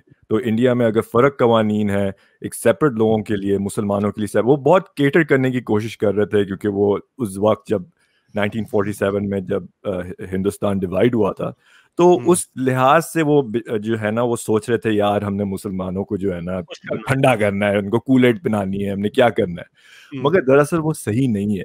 पैरल लॉज को सही नहीं होना चाहिए आपके सारे सिटीजन एक जैसे होना चाहिए। फंडामेंटल सेक्युलरिज्म ये है। तो अपनी सेक्युलरिज्म को ठीक करें। ये इस पे मैं ट्रिपल तलाक और इस सब चीज़ों पे मैं एग्री करता हूँ। ये ऐसे कानून मैरिज एंड डिवोर्स एक्ट वो वो वो मनसूख होना चाहिए। सबका सिविल मैरिज एक्ट के अंदर आने चाहिए सारे टोटली टोटली ये यूनिफॉर्म सिविल कोड हाँ और हाँ. और इंडिया में यूनिफॉर्म सिविल कोड है ही नहीं। आप बताइए। हाँ. तो ठीक करो। हाँ इसको ठीक करो मगर मैं फिर यू नो हिंदू नेशनलिज्म वगैरह को I will not really endorse that मगर मैं समझता हूँ कि इंडिया को नेहरू का India and obviously one civil code for everyone ये हाँ। ये ज़रूरी है। हारिस आपको रॉ का एजेंट बना दिया जी किसी ने जासूस बना दिया आपको। रॉ का अभी अभी कोई मुझे कह रहा था पाकिस्तानी एजेंट मैं उसका कमेंट देख Haris we knew you belong to raw Hindu जासूस इन पाकिस्तान। यार अभी हिंदू अभी एक हिंदू आदेश आदेश यादव जो है। वो पाकिस्तानी हैं तुम पाकिस्तानी मुजाहिद हो। हम हाँ। ये वाले कहते हैं कि यार रॉ के एजेंट यार ये मसला ये स्पीकर जो है। ही। ये ये मसला हाँ नहीं चलो ये तो खैर शुगल लगा रहे हैं मज़ाक कर रहे हैं लेकिन यार जो है ना वो मुसाद का एजेंट है। भाई हाँ, मैं तो नीचे किसी किसी लेवल को हम एक्सेप्ट नहीं करते। यहूदी। यहूदी एजेंट है भाई हम। कोई ये राशा ये सही ये नहीं हाँ, सीधा सीधा डायरेक्टली है अभी नास के सर पे। नास डेली के ऊपर नास डेली के ऊपर अल जजीरा ने इल्ज़ाम लगा दिया कि वो हिंदू वो यहूदियों का एजेंट है इसराइल का पेड एजेंट है। तो ये एक और बात है जो हारिस भाई ने की है कि इंडिया एक किस्म का हिंदू पाकिस्तान बन रहा है। ये हाँ, बहुत एक खतरनाक बात है जो जो हिंदुस्तान में जो लोग मेरी बात सुन रहे हैं हमारी बात सुन रहे हैं वो ये खान खोल के सुन लें कि हाँ। आप यूट्यूब में सर्च करके आईएसआई में जो क्या नाम था उससे हमीद गुल हाँ जी। हमीद गुल ने इसकी मरने से पहले एक इंटरव्यू हुआ था और उसने कहा था मोदी पाकिस्तान के लिए तोहफा है। और हम्म। मैं यकीन से आपको ये बात कह रहा हूँ कि मोदी के आने से जितने लोगों ने कहा है कि टू नेशन थ्योरी को जो है वैलिडेट हो चुकी है ठीक हो गई है ये बहुत शुरू हुआ हुआ है। पाकिस्तान एक किस्म का आप जो है समझ रहे हैं कि मोदी के आने से पाकिस्तान तकसीम हो जाएगा कि टोटे टोटे हो जाएगा टुकड़े हो जाएगा ऐसा ये ख्याली बातें हैं। मोदी के आने से पाकिस्तान जिस तरीके से यूनिफाई हुआ है ऐसा कभी ना था।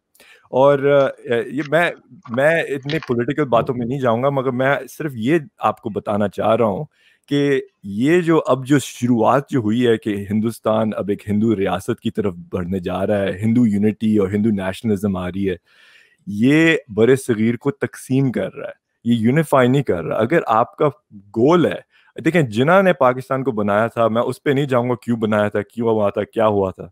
मैं ये कहूँगा कि जिना शुरू में चाहे आपको उसको कुछ लोग कहते हैं कि ब्रिटिश जासूस था वगैरह जो भी, मैं उस पर उसमें नहीं जाना चाहता। मगर जो शुरू में Jinnah wanted one unified India वो एक हिंदुस्तान चाहता था।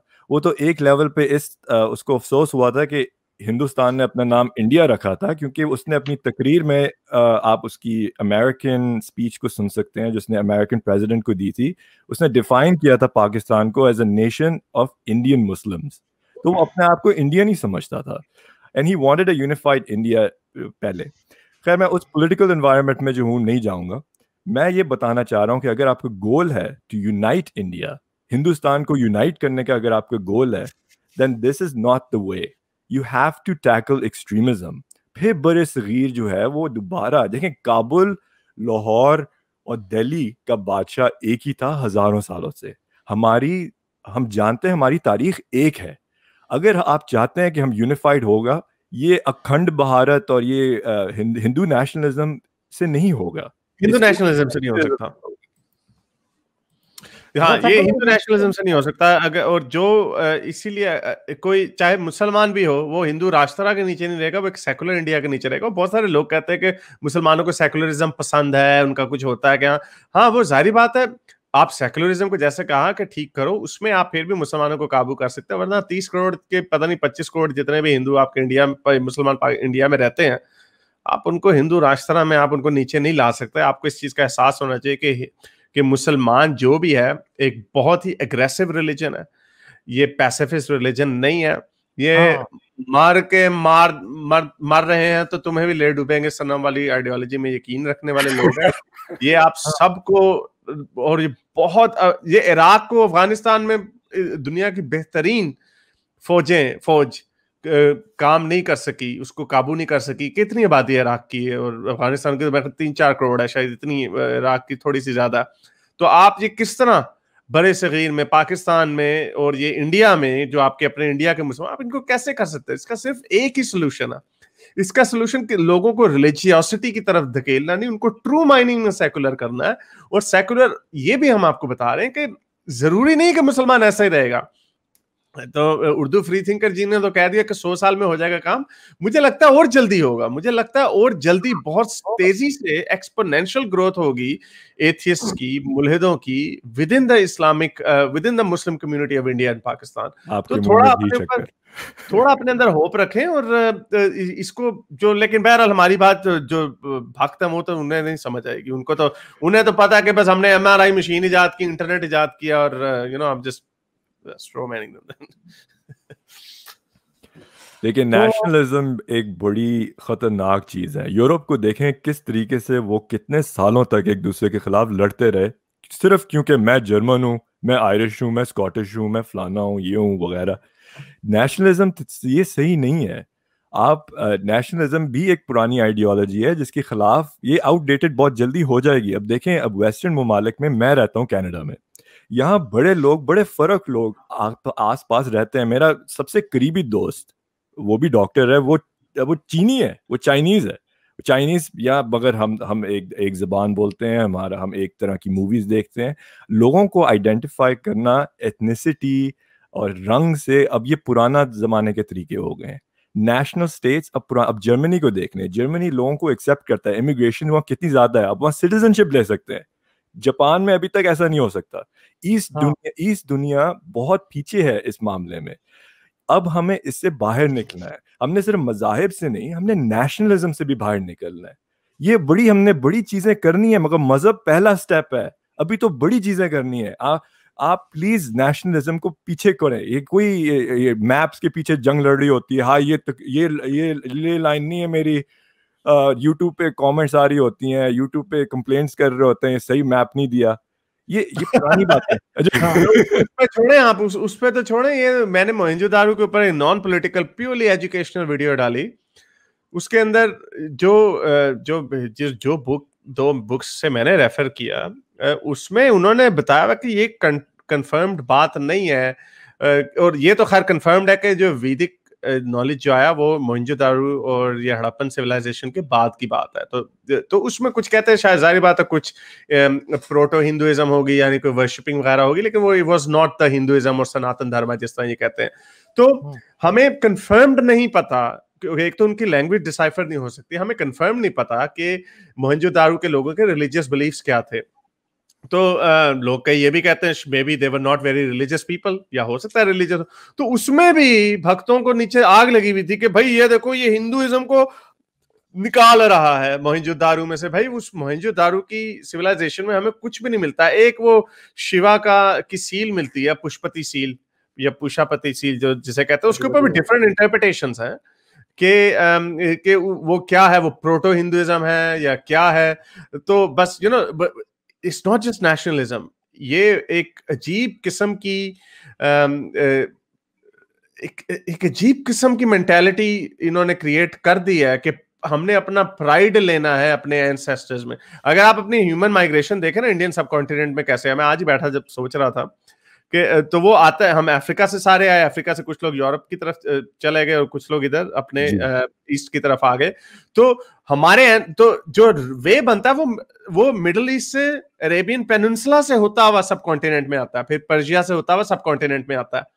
तो हमारे एंसेस्टर किसी स्टेज स्टेज में पर्शियंस भी थे फिर किसी स्टेज में अरब्स भी थे उससे पहले हम सारे अफ्रीकन थे। तो मैं ये कहता हूँ कि आपने ब्रेक लगानी है तो अपनी एंशियंट हिंदू पे ही क्यों लगानी है? हम फिफ्टी अगर साठ या सत्तर हज़ार साल पहले हम अफ्रीका से माइग्रेट करके सब कॉन्टिनेंट में आए, उस वक्त के लोगों के रिलीजन और उस लोगों के व्यूज़ टोटली डिफरेंट थे। आपने वैदिक के ऊपर ही क्यों आके सो यू नो ये एक अजीब किस्म का सुपीरियोरिटी कॉम्प्लेक्स डाला गया है कि we have to take pride in our ancestors भाई एंसेस्टर कौन से वाले? बंदरों के ऊपर प्राइड क्यों नहीं करते जब हम दरख्तों से लटकते और देखें हम कोई डिनाई नहीं करते। देखें मैं खुद डिनाई नहीं करता कि मेरे एंसेस्टर्स हिंदू होंगे। हाँ हिंदू थे। अब, अब, अब मेरी जात जो है दरअसल मेरी जात कश्मीरी है तो आदि मेरे खानदान जो है कश्मीरी गिलानी है। अब गिलानी को नाम को देख लें। गिलानी का मतलब है कि गिलान जो जो ईरान से आया ठीक है? हम्म। अब वो कुछ जो है मगर मेरी मेरी आदि खानदान जो है वो भट्ट है। भट्ट भी है शाह भी है। अब भट्ट जो है वो पंडित होते थे जो मुसलमान हुए ठीक है? जो कश्मीरी पंडित जो है जिसकी होता है। तो हमारे हमारी जात मिक्स्ड है। बात है कि लोगों की दरअसल जो बड़े सगीर में रहते हैं और आज के जो लोग हैं कहीं भी दुनिया में आप देख लें we are a product of invasion बहुत से लोग आए हैं कब्जा किया है हमला किया है और जो बड़े रेप्स हुए हैं। रेप्स हुए हम हम सब एक रेप्स के प्रोडक्ट्स हैं। रेप्स हुए हैं। हाँ। ईरान की मंगोलों ने three fourth population seventy five फ़ीसद population को खात्मा कर दिया। पोलैंड तक मंगोल्स गए। कैल्टिक लोग जो सेंट्रल यूरोप में रहते थे वो माइग्रेट कर गए। स्पेन के जो आज लोग रहते हैं वो अरब्स ने उन्होंने कब्जा किया। विसिगॉट्स ऑफ़ द लोग जो हैं ईस्टर्न यूरोप से वहाँ माइग्रेट हुए। आज के इटालियंस जो हैं as a product of you know ancient Romans और जो ऊपर से जो स्लाविक पॉपुलेशन ने माइग्रेट किया जर्मैनिक ट्राइब्स ने माइग्रेट किया। कोई भी ethnicity even ethnicities don't make sense even national identities don't make sense Haris इस बारे में ठीक कहता होता है। हारिस ने भी कुछ दिन पहले एक वीडियो में बैठा हुआ था, इसी इसी टॉपिक पर ही बात कर रहा था। तो वो हारिस ने कहा था कि यार देखो इस चीज़ से फ़र्क नहीं पड़ता कि कल को आप क्या थे या कहाँ से आए हो। फ़र्क इस चीज़ से पड़ता है कि आज आप क्या हो। आज आप क्या कंट्रीब्यूट कर रहे हो, क्या क्या सिखा रहे हो, क्या पढ़ रहे हो, क्या बोल रहे हो। आज अपनी शनाख्त जो है, वो तुम्हारी आज की है। आज को हारिस ने मेरे ख्याल में शायद ये भी एग्ज़ाम्पल दी थी कि तुम्हें तुम्हें पता है तुम्हारे परदादा का नाम क्या था? नहीं पता। ठीक है? तो उससे फ़र्क नहीं पड़ता कि यार आ, आप आप हिंदू हिंदू की प्रोडक्ट हो इन्वेडर की प्रोडक्ट हो जो भी हो you are the reality today जो आप आज रियलिटी हो और उस रियलिटी को आप नेचर में आ, अपनी सोसाइटी में आपकी कंट्रीब्यूशन किया है यही मैटर करेगी। इसके अलावा कुछ नहीं मैटर करता। जो गुजर गया, सो गुजर गया। या लेकिन इसमें प्रॉब्लम इनको यही है ना, ये इमोशनल एक कनेक्शन है, जो they they feel like they have to feel you know एक एक कनेक्शन इन्हें चाहिए। और ये, यही आर्गुमेंट ये और लोगों के सामने रख देते हैं। आर्मी नवाबी पे इनको बड़ी हैरत हुई, बहुत सारे हिंदू कहते हैं कि, ओहो ना क्योंकि अब के जो पर्शियंस हैं, वो अपनी ओल्ड पर्शियन रूट्स में जाना है। नो बड़ी केस क्या लगे कि आज ढाई हज़ार तीन हज़ार साल पहले हमारे अबाव अजदाद जो करते थे, उसमें क्या हम, आज जो हो, आपको क्या कोई वर्ड किसी को फील होता? कि आपको फील होता है कि आज से लकड़ दादे से पहले वाला जो आपका दादा था, आपने किसी तरह you have to relate with him वो मैं अक्सर ये बताता रहता हूँ सैम हैरिस की बड़ी अच्छी, और ये मुझे उसी वक्त से रेजोनेट कर रहा था, वो ऑक्सफोर्ड में या कैम्ब्रिज में कहीं बैठा डिबेट स्पीच दे रहा था, और उसने कहा जो बड़े लोग मेरे सामने फैंसी फैंसी लोग बैठे, कहता, मुझे ना इसमें कोई फ़र्क नहीं पड़ता कि आपके पास हार्वर्ड की डिग्री है या आपके पास कैम्ब्रिज की डिग्री है या ऑक्सफोर्ड की पीएचडी है, कोई फ़र्क नहीं पड़ता। लेकिन आज से हम पाँच, छह, दस पुश्ते पहले चले जो आप सबके भाव इजाद एक दूसरे के गले काट रहे थे। It doesn't make any difference at all आपका डिफेंड आप आप आज क्या हो इट मैटर्स और आप आज से दुनिया को कहाँ लेके जाओगे इट मैटर्स ठीक है, जो इमोशनल जो आपके, अगर किसी एंशंट लकड़ दादे ने महाराष्ट्र में हुकूमत बनाई थी and he was a raja sure okay it's a good academic value लेकिन उसका क्या आपको रिलेशनशिप होगा? आप it's just these kind of arguments मुझे मुझे ये आर्गुमेंट सिर्फ़ अपने इंडियंस में ज़्यादा नज़र आते हैं बनस्बत किसी और के। कोई पर्शियन एथियस ये नहीं कहता कि हमने जोरोएस्ट्रियन रूट्स में जाना है कोई इजिप्शियन एथियस ये नहीं कहता हमने अपनी एंशंट फेरो फेरोज और इजिप्शियन रूट्स में जाना। कोई नहीं कहता। बस इधर ये एक कॉम्प्लेक्स है I don't know why Egyptians तो अपने फिरौनों से तंग है। लिमिटेड नहीं है। आ, ये इनका जो है ना मज़हब को लेकर भी इनका यही मामला है। अब आप ये देख लें कि यही जो फ्रांस में जो इंसिडेंट हुआ है ठीक है? आ, किसी और मुस्लिम मुल्क ने बोला है? ये या तो वो तुर्की का उसका तो रदगान वाला तो मामला ही अलग है। लेकिन एज एज ए नेशन कोई सामने आया? कोई भी नहीं। ये इस उम्मा के ठेकेदार भी ये बन जाते हैं और इनके साथ फिर फिर वो दूसरे भी मज़हब बेशक दूसरा हो गया लेकिन ये है कि ये इस तरह की चीज़ें जो है ना ये वाकई आप सही कह रहे हैं कि ये हम सब कॉन्टिनेंट के लोगों में बहुत ज़्यादा है। मज़हब की अच्छा, ठेकेदारी वाली भी आइडेंटिटी की ठेकेदारी वाली भी और इस तरह की चीज़ें भी। आपको पता कि 1971 में शराफ ईरान ने को मिलियंस ऑफ़ डॉलर्स की कोई जो है ना एक पार्टी अरेंज की थी जिसमें उसने दुनिया की सारी रॉयल्टी को बुलाया था। ठीक है? और बेसिकली हम्म। वही पार्टी जो थी वो इनकलाब जो ईरानियन रेवोल्यूशन था जिसमें खमीनी ने फिर जो है रॉयल फैमिली से हुकूमत ले ली और ईरान जो है वो एक ऐसे डिप्रेशन में गया। बेसिकली वो सेलिब्रेट कर रहा था Cyrus twenty five hundred years of Persian empire Cyrus the great से लेके सेलिब्रेट कर रहा था और वो वही चीज़ जो है वो उसके फॉल की का बायस बनी। वो अगर वो पार्टी ना करता तो लोग कहते हैं कि शाह फिरान जो है ना वो कभी भी अभी भी शायद हुकूमत कर रहा होता ईरान आज भी सेकुलर होता। तो वो निकला अपने पुरखों को सेलिब्रेट करने और पुरखों को सेलिब्रेट करते करते अपनी अपनी जो सल्तनत है वही गवा बैठा। हालाँकि तो सेकुलरिज्म का जो आइडिया है वो साइरस द ग्रेट ने ही पहली दफ़ा दिया था ना? हाँ, साइरस सिलेंडर में ही। ले, लेकिन आप एकेडमिकली हिस्टोरिकली आप इसको अप्रिशिएट कर सकते हो लेकिन ये जो एक रिवाइवलिज्म की जो हाँ। भूख है ना कि हमने उसको रिवाइव करना मैंने अक्सर कहा कि मुसलमानों को भी बड़ा शौक है, हमने खोया हुआ वकार हासिल करना है, वापस माजी में जाना है। उसी तरह मंगोल्स जो है, वो आज तक इंतज़ार कर रहे हैं कि कोई चंगेज खान आएगा, हमें दुनिया के टॉप पे ले जाएगा। और यहाँ पे एक अजीब ये चल रहा है, ये मैं कमेंट्स कहीं पढ़ रहा हूँ, काफ़ी भक्त नीचे लिख रहे हैं कि, ओह भाई हारिस तुम्हें पता नहीं, किताबें नहीं तो तुमने हिंदुइज्म मैं आपसे एक यूनिवर्सल आर्गुमेंट की बात कर रहा हूँ, जो आइडिया है, ये बड़ा थॉट आउट आइडिया है कि नेशनलिज्म एथ्रो नेशनलिज्म या रिलीजियो नेशनलिज्म ये चीज़ें और रिलीजन इटसेल्फ ये सारी चीज़ें ये कहीं पे नहीं चलती। इसके लिए आप चाहे ना पीछे कोई दस हज़ार किताबें पढ़ के ले आओ जिसमें आपको अपनी हिस्ट्री का पता होगा but that still does not mean कि you have to have emotional connection with and you have to go into revivalism and all that तो ये ऐसे ही पता नहीं कहाँ गए लोग, बस ये, लेकिन कंडीशनिंग हुई हुई है ना।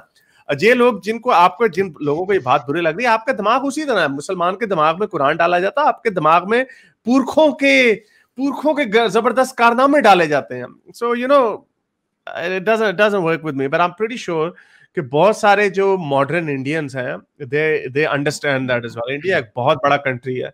बहुत तरह के लोग हैं वहाँ पे।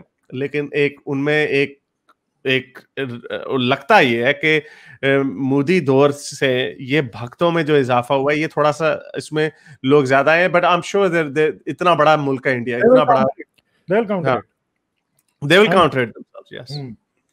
Hmm.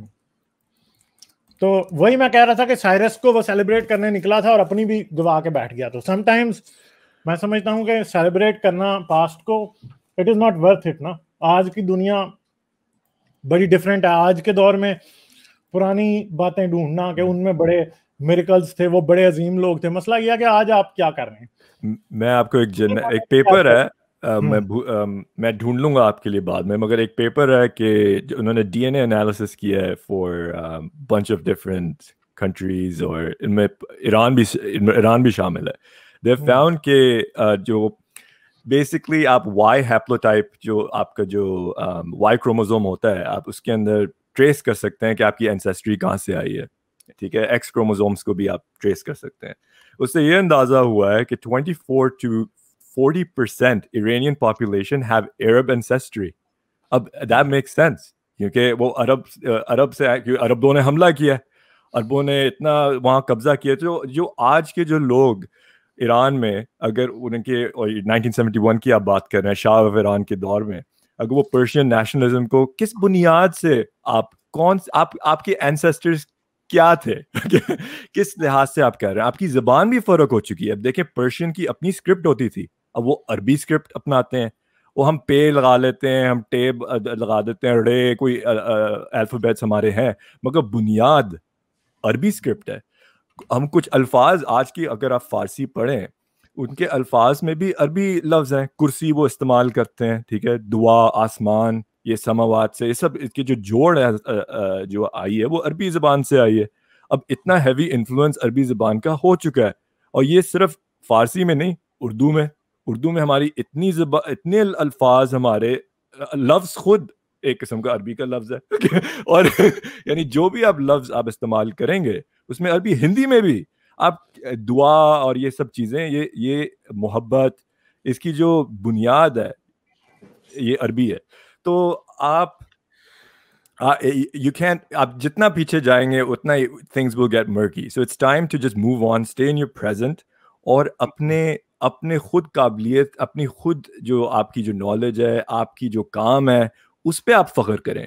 अपने पीछे लोगों के फख्र करने की कोई ज़रूरत नहीं है। बहुत आसान है। और और उसमें शर्म शर्मिंदा होने की भी कोई ज़रूरत नहीं है। पता नहीं किसी ने मुझे अब याद नहीं है कि ये वो सेटायर था या मेरा ख्याल ओरिजिनल था कि क्वीन एलिजाबेथ का भी कोई लिंक मिलता है उसके भी डीएनए में कुछ आ, कोई अरब रूट्स आती हैं कहीं ना कहीं। I mean queen of England तो you know it doesn't make any difference अगर हमारा जैसे मैंने यही बताया कि हम सारे आए तो अफ्रीका से। अब ये देखो नया एक ये महादेव चौधरी ने कोई नया एक शोशा छोड़ दिया कि दुनिया की सबसे पहली डेमोक्रेसी इंडिया में में थी हुई थी लिचावी रिपब्लिक में। जहाँ तक मुझे पता है लिचावी रिपब्लिक तो पोस्ट क्राइस्ट किंगडम थी मुझे जहाँ तक पता। लेकिन इसीलिए दुनिया में माना जाता है कि जो पहली डेमोक्रेसी जो आई थी वो ग्रीक्स ने दी थी। अब जी हाँ? एथेंस पहली डेमोक्रेसी एथेंस को कहा जाता है कि बर्थ प्लेस ऑफ़ डेमोक्रेसी थी। तो ये इस तरह की चीज़ें इनके विचारों के दिमागों में डाल के जिस तरह मुसलमान मदरसे में हम लोग ये पैदा कर रहे हैं ना कि मुसलमानों ने बनाई थी हर चीज़। मुसलमान भी यही कहते हैं पहली फलाही रियासत मदीना की रियासत थी। हाँ। पहली रियासत जिसमें हमने चैरिटी और टैक्स का अच्छा सिस्टम बनाया था, उसी तरह इनको भी बेचारों को यही चूना दिया जा रहा है एमआरआई इंटरनेट हेड ट्रांसप्लांट और अब ये डेमोक्रेसी का भी मैंने शोशा नया सुन लिया। यार छोड़ दो यार, आप लोगों को फुदू लगाया हुआ अपनी, अपने आपस में एक दूसरे की पंडितों की बातें ना सुना करो, मोदी की बातें ना सुना करो, कि किसी ओरिजिनल हिस्टोरियन की बात सुना करो। यार मेरा एक सवाल है, छोड़े इन सारी सीरियस बातों को, वो पाकिस्तान में, मुस्लिम दुनिया में ये सारी फ्रेंच प्रोडक्ट्स बैन हो रही हैं तो क्या फ्रेंच किस भी बैन होगी? वो तो मौलवी नहीं छोड़ेगा। मौलवी कहेगा ये तो सुन्नत है भाई।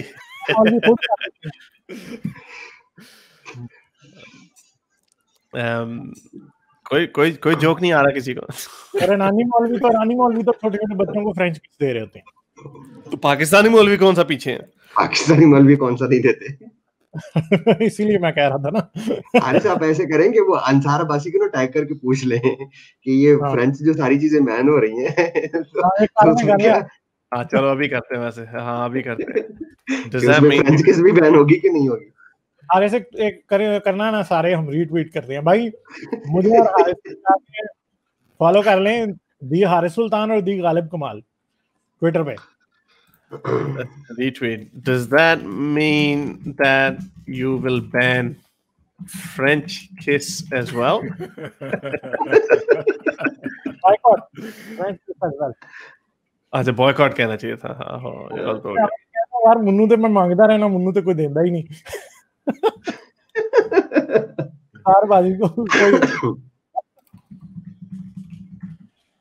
हाँ ये हो गया सही पुरानी वाले डिलीट कर दो yeah, yeah, yeah. That's a very good one. Should have said that uh, coming from Spartacus. Medina की रियासत जो जहाँ तक बात होती है इमरान खान जो बार बार करता है एज अ यू नो फिर उसके बाद स्वीडन के बारे में भी बात करता है कि you know it's a welfare state welfare state Medina की रियासत वेलफेयर स्टेट थी ये जो ये जो आइडिया बिहाइंड वेलफेयर स्टेट्स और मदीना रियासत की जो कनेक्शन है वो आता है बेतुल माल से कि it's a house of money मगर yes. बेतुल माल की बुनियाद क्यों थी? अबू बकर के दौर में बेतुल माल नहीं था और ना प्रॉफिट मोहम्मद के दौर में बेतुल माल था। बेतुल माल आया था जब इस्लामिक एक्सपेंशन शुरू हुई थी और जब hmm. इतना पैसा आना शुरू हो गया था तो उन्होंने कहा अपने क्या करना है? उन्होंने नेशनल ट्रेजरी बनाई। उसकी बुनियाद एक्चुअली। इंपीरियलिज्म थी। दूसरे लोगों पे कब्जा करना इसमें बरतानिया की कॉलोनियलिज्म से कुछ फ़र्क बात नहीं है। तो ये इतना जस्ट मैं थोड़ा सा डिस्कशन को एक्सटेंड करना चाह रहा था to bring back to the topic कि हम हम अभी तो खैर अभी हम यू you नो know, बड़े सगीर के लोगों की बातें कर रहे हैं मुसलमान हिंदू वगैरह। मगर ये सब ये चीज़ जो है वो सब लोगों में पाई जाती है। और स्पेशली मुस्लिम दुनिया में बहुत पाई जाती है। They want to they have the golden age syndrome अंग्रेज़ी में कहते हैं गोल्डन एज सिंड्रोम कि वो जाना चाहते हैं उस वक्त जब वो समझते हैं कि तारीख बहुत अच्छी थी और ये हम हमारे जो कवानीन जो थे वो दुनिया को बड़े उरूज पे लेकर गए थे। ये ये बहुत ये ख्याली बातें हैं। तो यही आपको हिंदुइज्म ये जो हिंदू भक्त है इसमें भी आपको नहीं नज़र लग रहा कि हिंदुओं में भी यही चीज़ आ रही है? हाँ हाँ नहीं नहीं नहीं बिल्कुल लग रहा है। ये यही मुझे खौफ है। जिस कौम के पास इस वक्त दुनिया में करने का कुछ नहीं है ना वो सारे अपने पास्ट की तरफ़ देख रहे हैं। और पास्ट जो है ना वो जब जब लोग बुढ़े हो जाते हैं ना उनको पास्ट ही अच्छा लगता है। हाँ। बुढ़े लोग हमेशा पास्ट की तरफ़ देखते हैं तो बुढ़े ना बने जवान बने। और और ये बहुत आसान है। एक्चुअली यू एब्सोल्युटली राइट बिल्कुल सही कह रहे हैं आप कि ये बहुत आसान है दूसरे लोगों की यू you नो know, की अचीवमेंट पे फख्र करना। हम इसलिए स्पोर्ट्स देखते हैं। ओ सईद अनवर बड़ा अच्छा खेल रहा है सचिन बड़ा अच्छा खेल रहा है। बहुत आसान है। यू नो लोगों की अचीवमेंट पे तारीफ़ करना। इसी तरह हम अपने ख्याली एंसेस्टर्स की तारीफें कर रहे होते हैं। खुद काम करो। खुद क्या किया है आपने? कुछ बने हो ज़िंदगी में? कुछ किया है आपने? उसकी उसके ऊपर आप अचीवमेंट्स जो अपनी जो अचीवमेंट्स है ना उस पे आप फख्र करो। और ये पूरा हक है। और ये आपको और ये आपको इसमें भी बड़ा नज़र आएगा। मैं ये भी कहता हूँ ये जो गोरे भी जो होते हैं ना जो कहते होते हैं go back to way you came from ये जो रेड नेक किस्म के जो होते हैं। जो आ, मैंने ये भी देखा है हमेशा वही गोरा इस तरह की बात करेगा जो आम, जो जिसकी खुद जो कोई ऐसे फजूल सा होगा ना ना कोई इसकी कोई अपनी पर्सनल कंट्रीब्यूशन कोई नहीं होगी जो जो बड़े लोग होते हैं जो जो पढ़े लिखे साइंटिस्ट या कोई एग्जेक्टिव या कोई जो भी जिन्होंने कुछ ज़िंदगी में हासिल किया होता है वो इस तरह की बातें नहीं कर रहे होते। तो ये जितना आपको वही यौबो ही मिलेगा जो इस तरह की बातें उनकी अपनी पर्सनल अचीवमेंट्स कोई नहीं होती। एग्जैक्टली hmm, और जो आइसिस जो लोग ज्वाइन करते हैं ना वो दरअसल लूजर्स होते हैं। काफ़ी हद तक कुछ लोग ड्रग एडिक्ट्स भी होते हैं जो कनाडा में भी काफ़ी लोग जिन्होंने दाइश वगैरह आइसिस वगैरह ज्वाइन की थी उनकी ज़िंदगी में कोई कुछ नहीं हो रहा था। तो जो आजकल के जो लोग जो ट्विटर में जंगे कर रहे होते हैं कीबोर्ड वॉरियर्स जो होते हैं आपकी ज़िंदगी में क्या है क्या हो रहा है? ये जो आप नेशनलिज्म और एक दूसरे के ऊपर जो है ना नफरत फैला रहे फैला रहे होते हैं आपकी उनकी ज़िंदगी में actually there is nothing going on and that's a sad thing जहाँ तक मैं एक सवाल पूछना चाह रहा था तो आपने uh, uh, बात की थी पहले uh, आप सबने you all alluded to the topic के लोगों के फ़र्क तरीके होते हैं क्रिटिसाइज करने के कुछ लोगों के कार्टून के करने के होते हैं कुछ लोग वगैरह करने के होते हैं। आपके लिहाज से कार्टून ये जो फ्रेंच के जो कार्टून है ये क्या is it a wise thing to do क्या ये सही है या ये गलत है? In in a sense is it unwise मैं नहीं कह रहा कि they don't have the right to do it मैं समझता हूँ कि everyone has the right to do whatever they want to do but do you think it's wise और नॉट मेरे से पूछे आप? हाँ जी हाँ जी। सबसे सबसे कोई भी।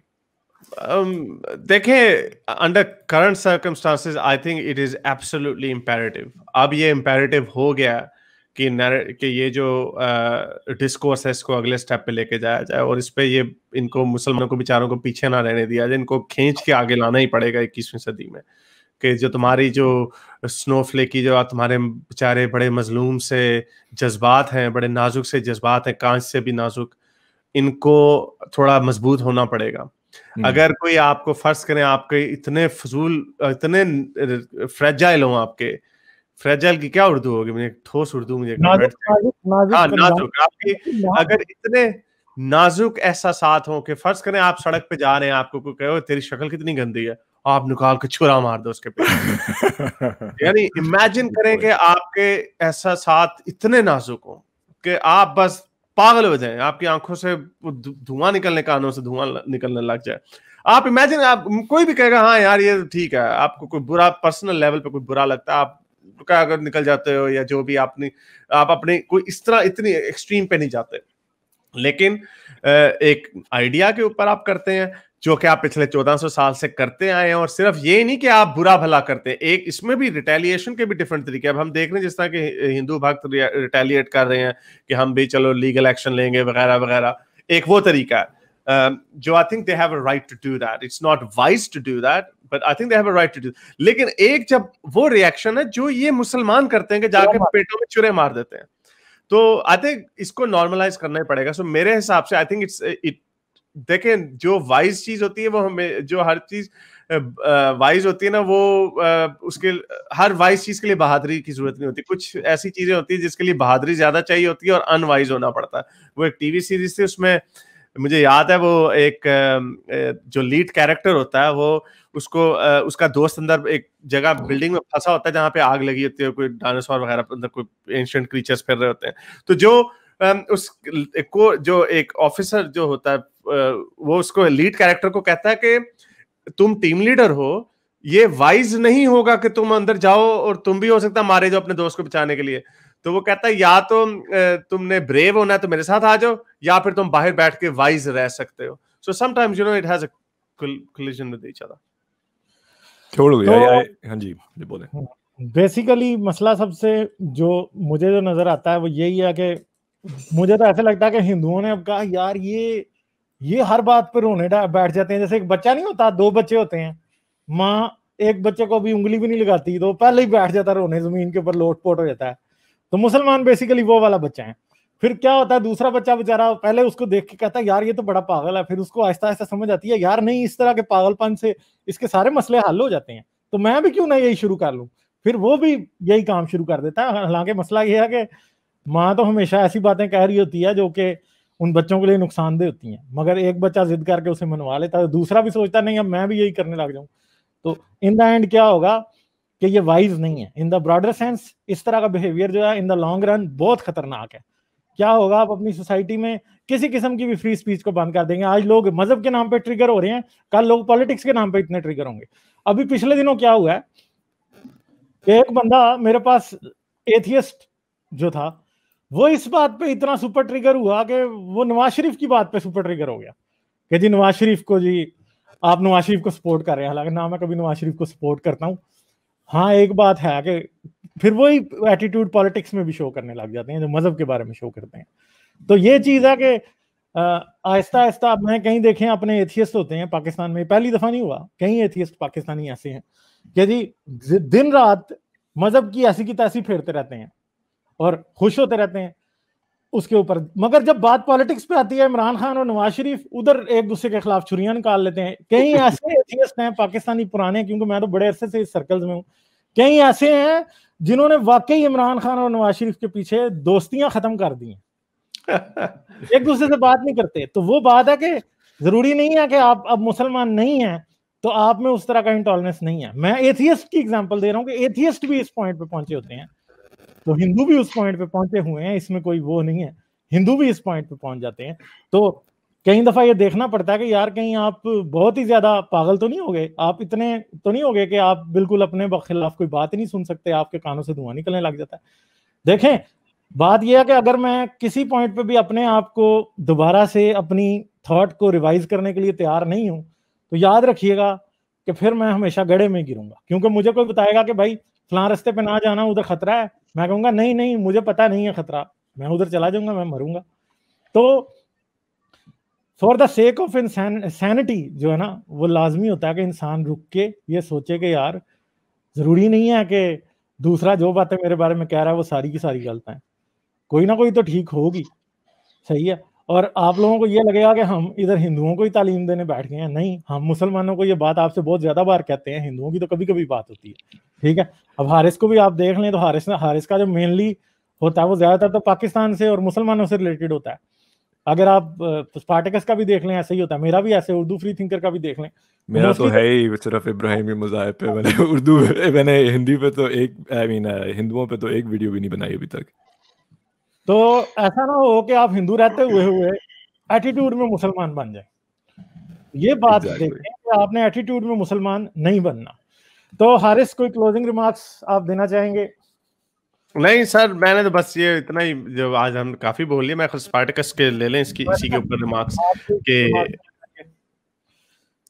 गालिब साहब यहाँ पर सिर्फ़ एक चीज़ ऐड करना चाहता था वो ये थी कि ये जो पॉलिटिकली जो ट्रिगर हो जाते हैं कि नवाज़ शरीफ वाले हाँ। और इमरान खान वाले या आर्मी वाले हम इस इस टॉपिक पर बड़ी लंबी बात की जा सकती है असल जो इसका रूट कॉज है ना वो है शख्सियत परस्ती हाँ। वो चाहे पॉलिटिक्स में हो चाहे रिलीजन में हो जहाँ इंसान शख्सियत परस्ती का शिकार हो जाता है ना ठीक है हाँ। तो वहाँ पर प्रॉब्लम शुरू हो जाती है फिर आप अपने पर्सनालिटी कल्ट अगर हिंदू भाइयों को ना इंडियंस को ना समझ आ रही हो पर्सनैलिटी कल्ट्स की बात कर रहे हैं स्पार्टकस हाँ जी हाँ जी कंटिन्यू करें। हाँ, तो उसमें फिर क्या होता है कि जब आप किसी एक एक की तकरीबन वो पूजा वाला मामला हो जाता है कि आप आप पाकिस्तान की मैं एक एग्जांपल देता हूँ। आप नवाज़ शरीफ के फॉलोअर्स को जाकर देख लें उनको वो फरिश्ता नज़र आएगा।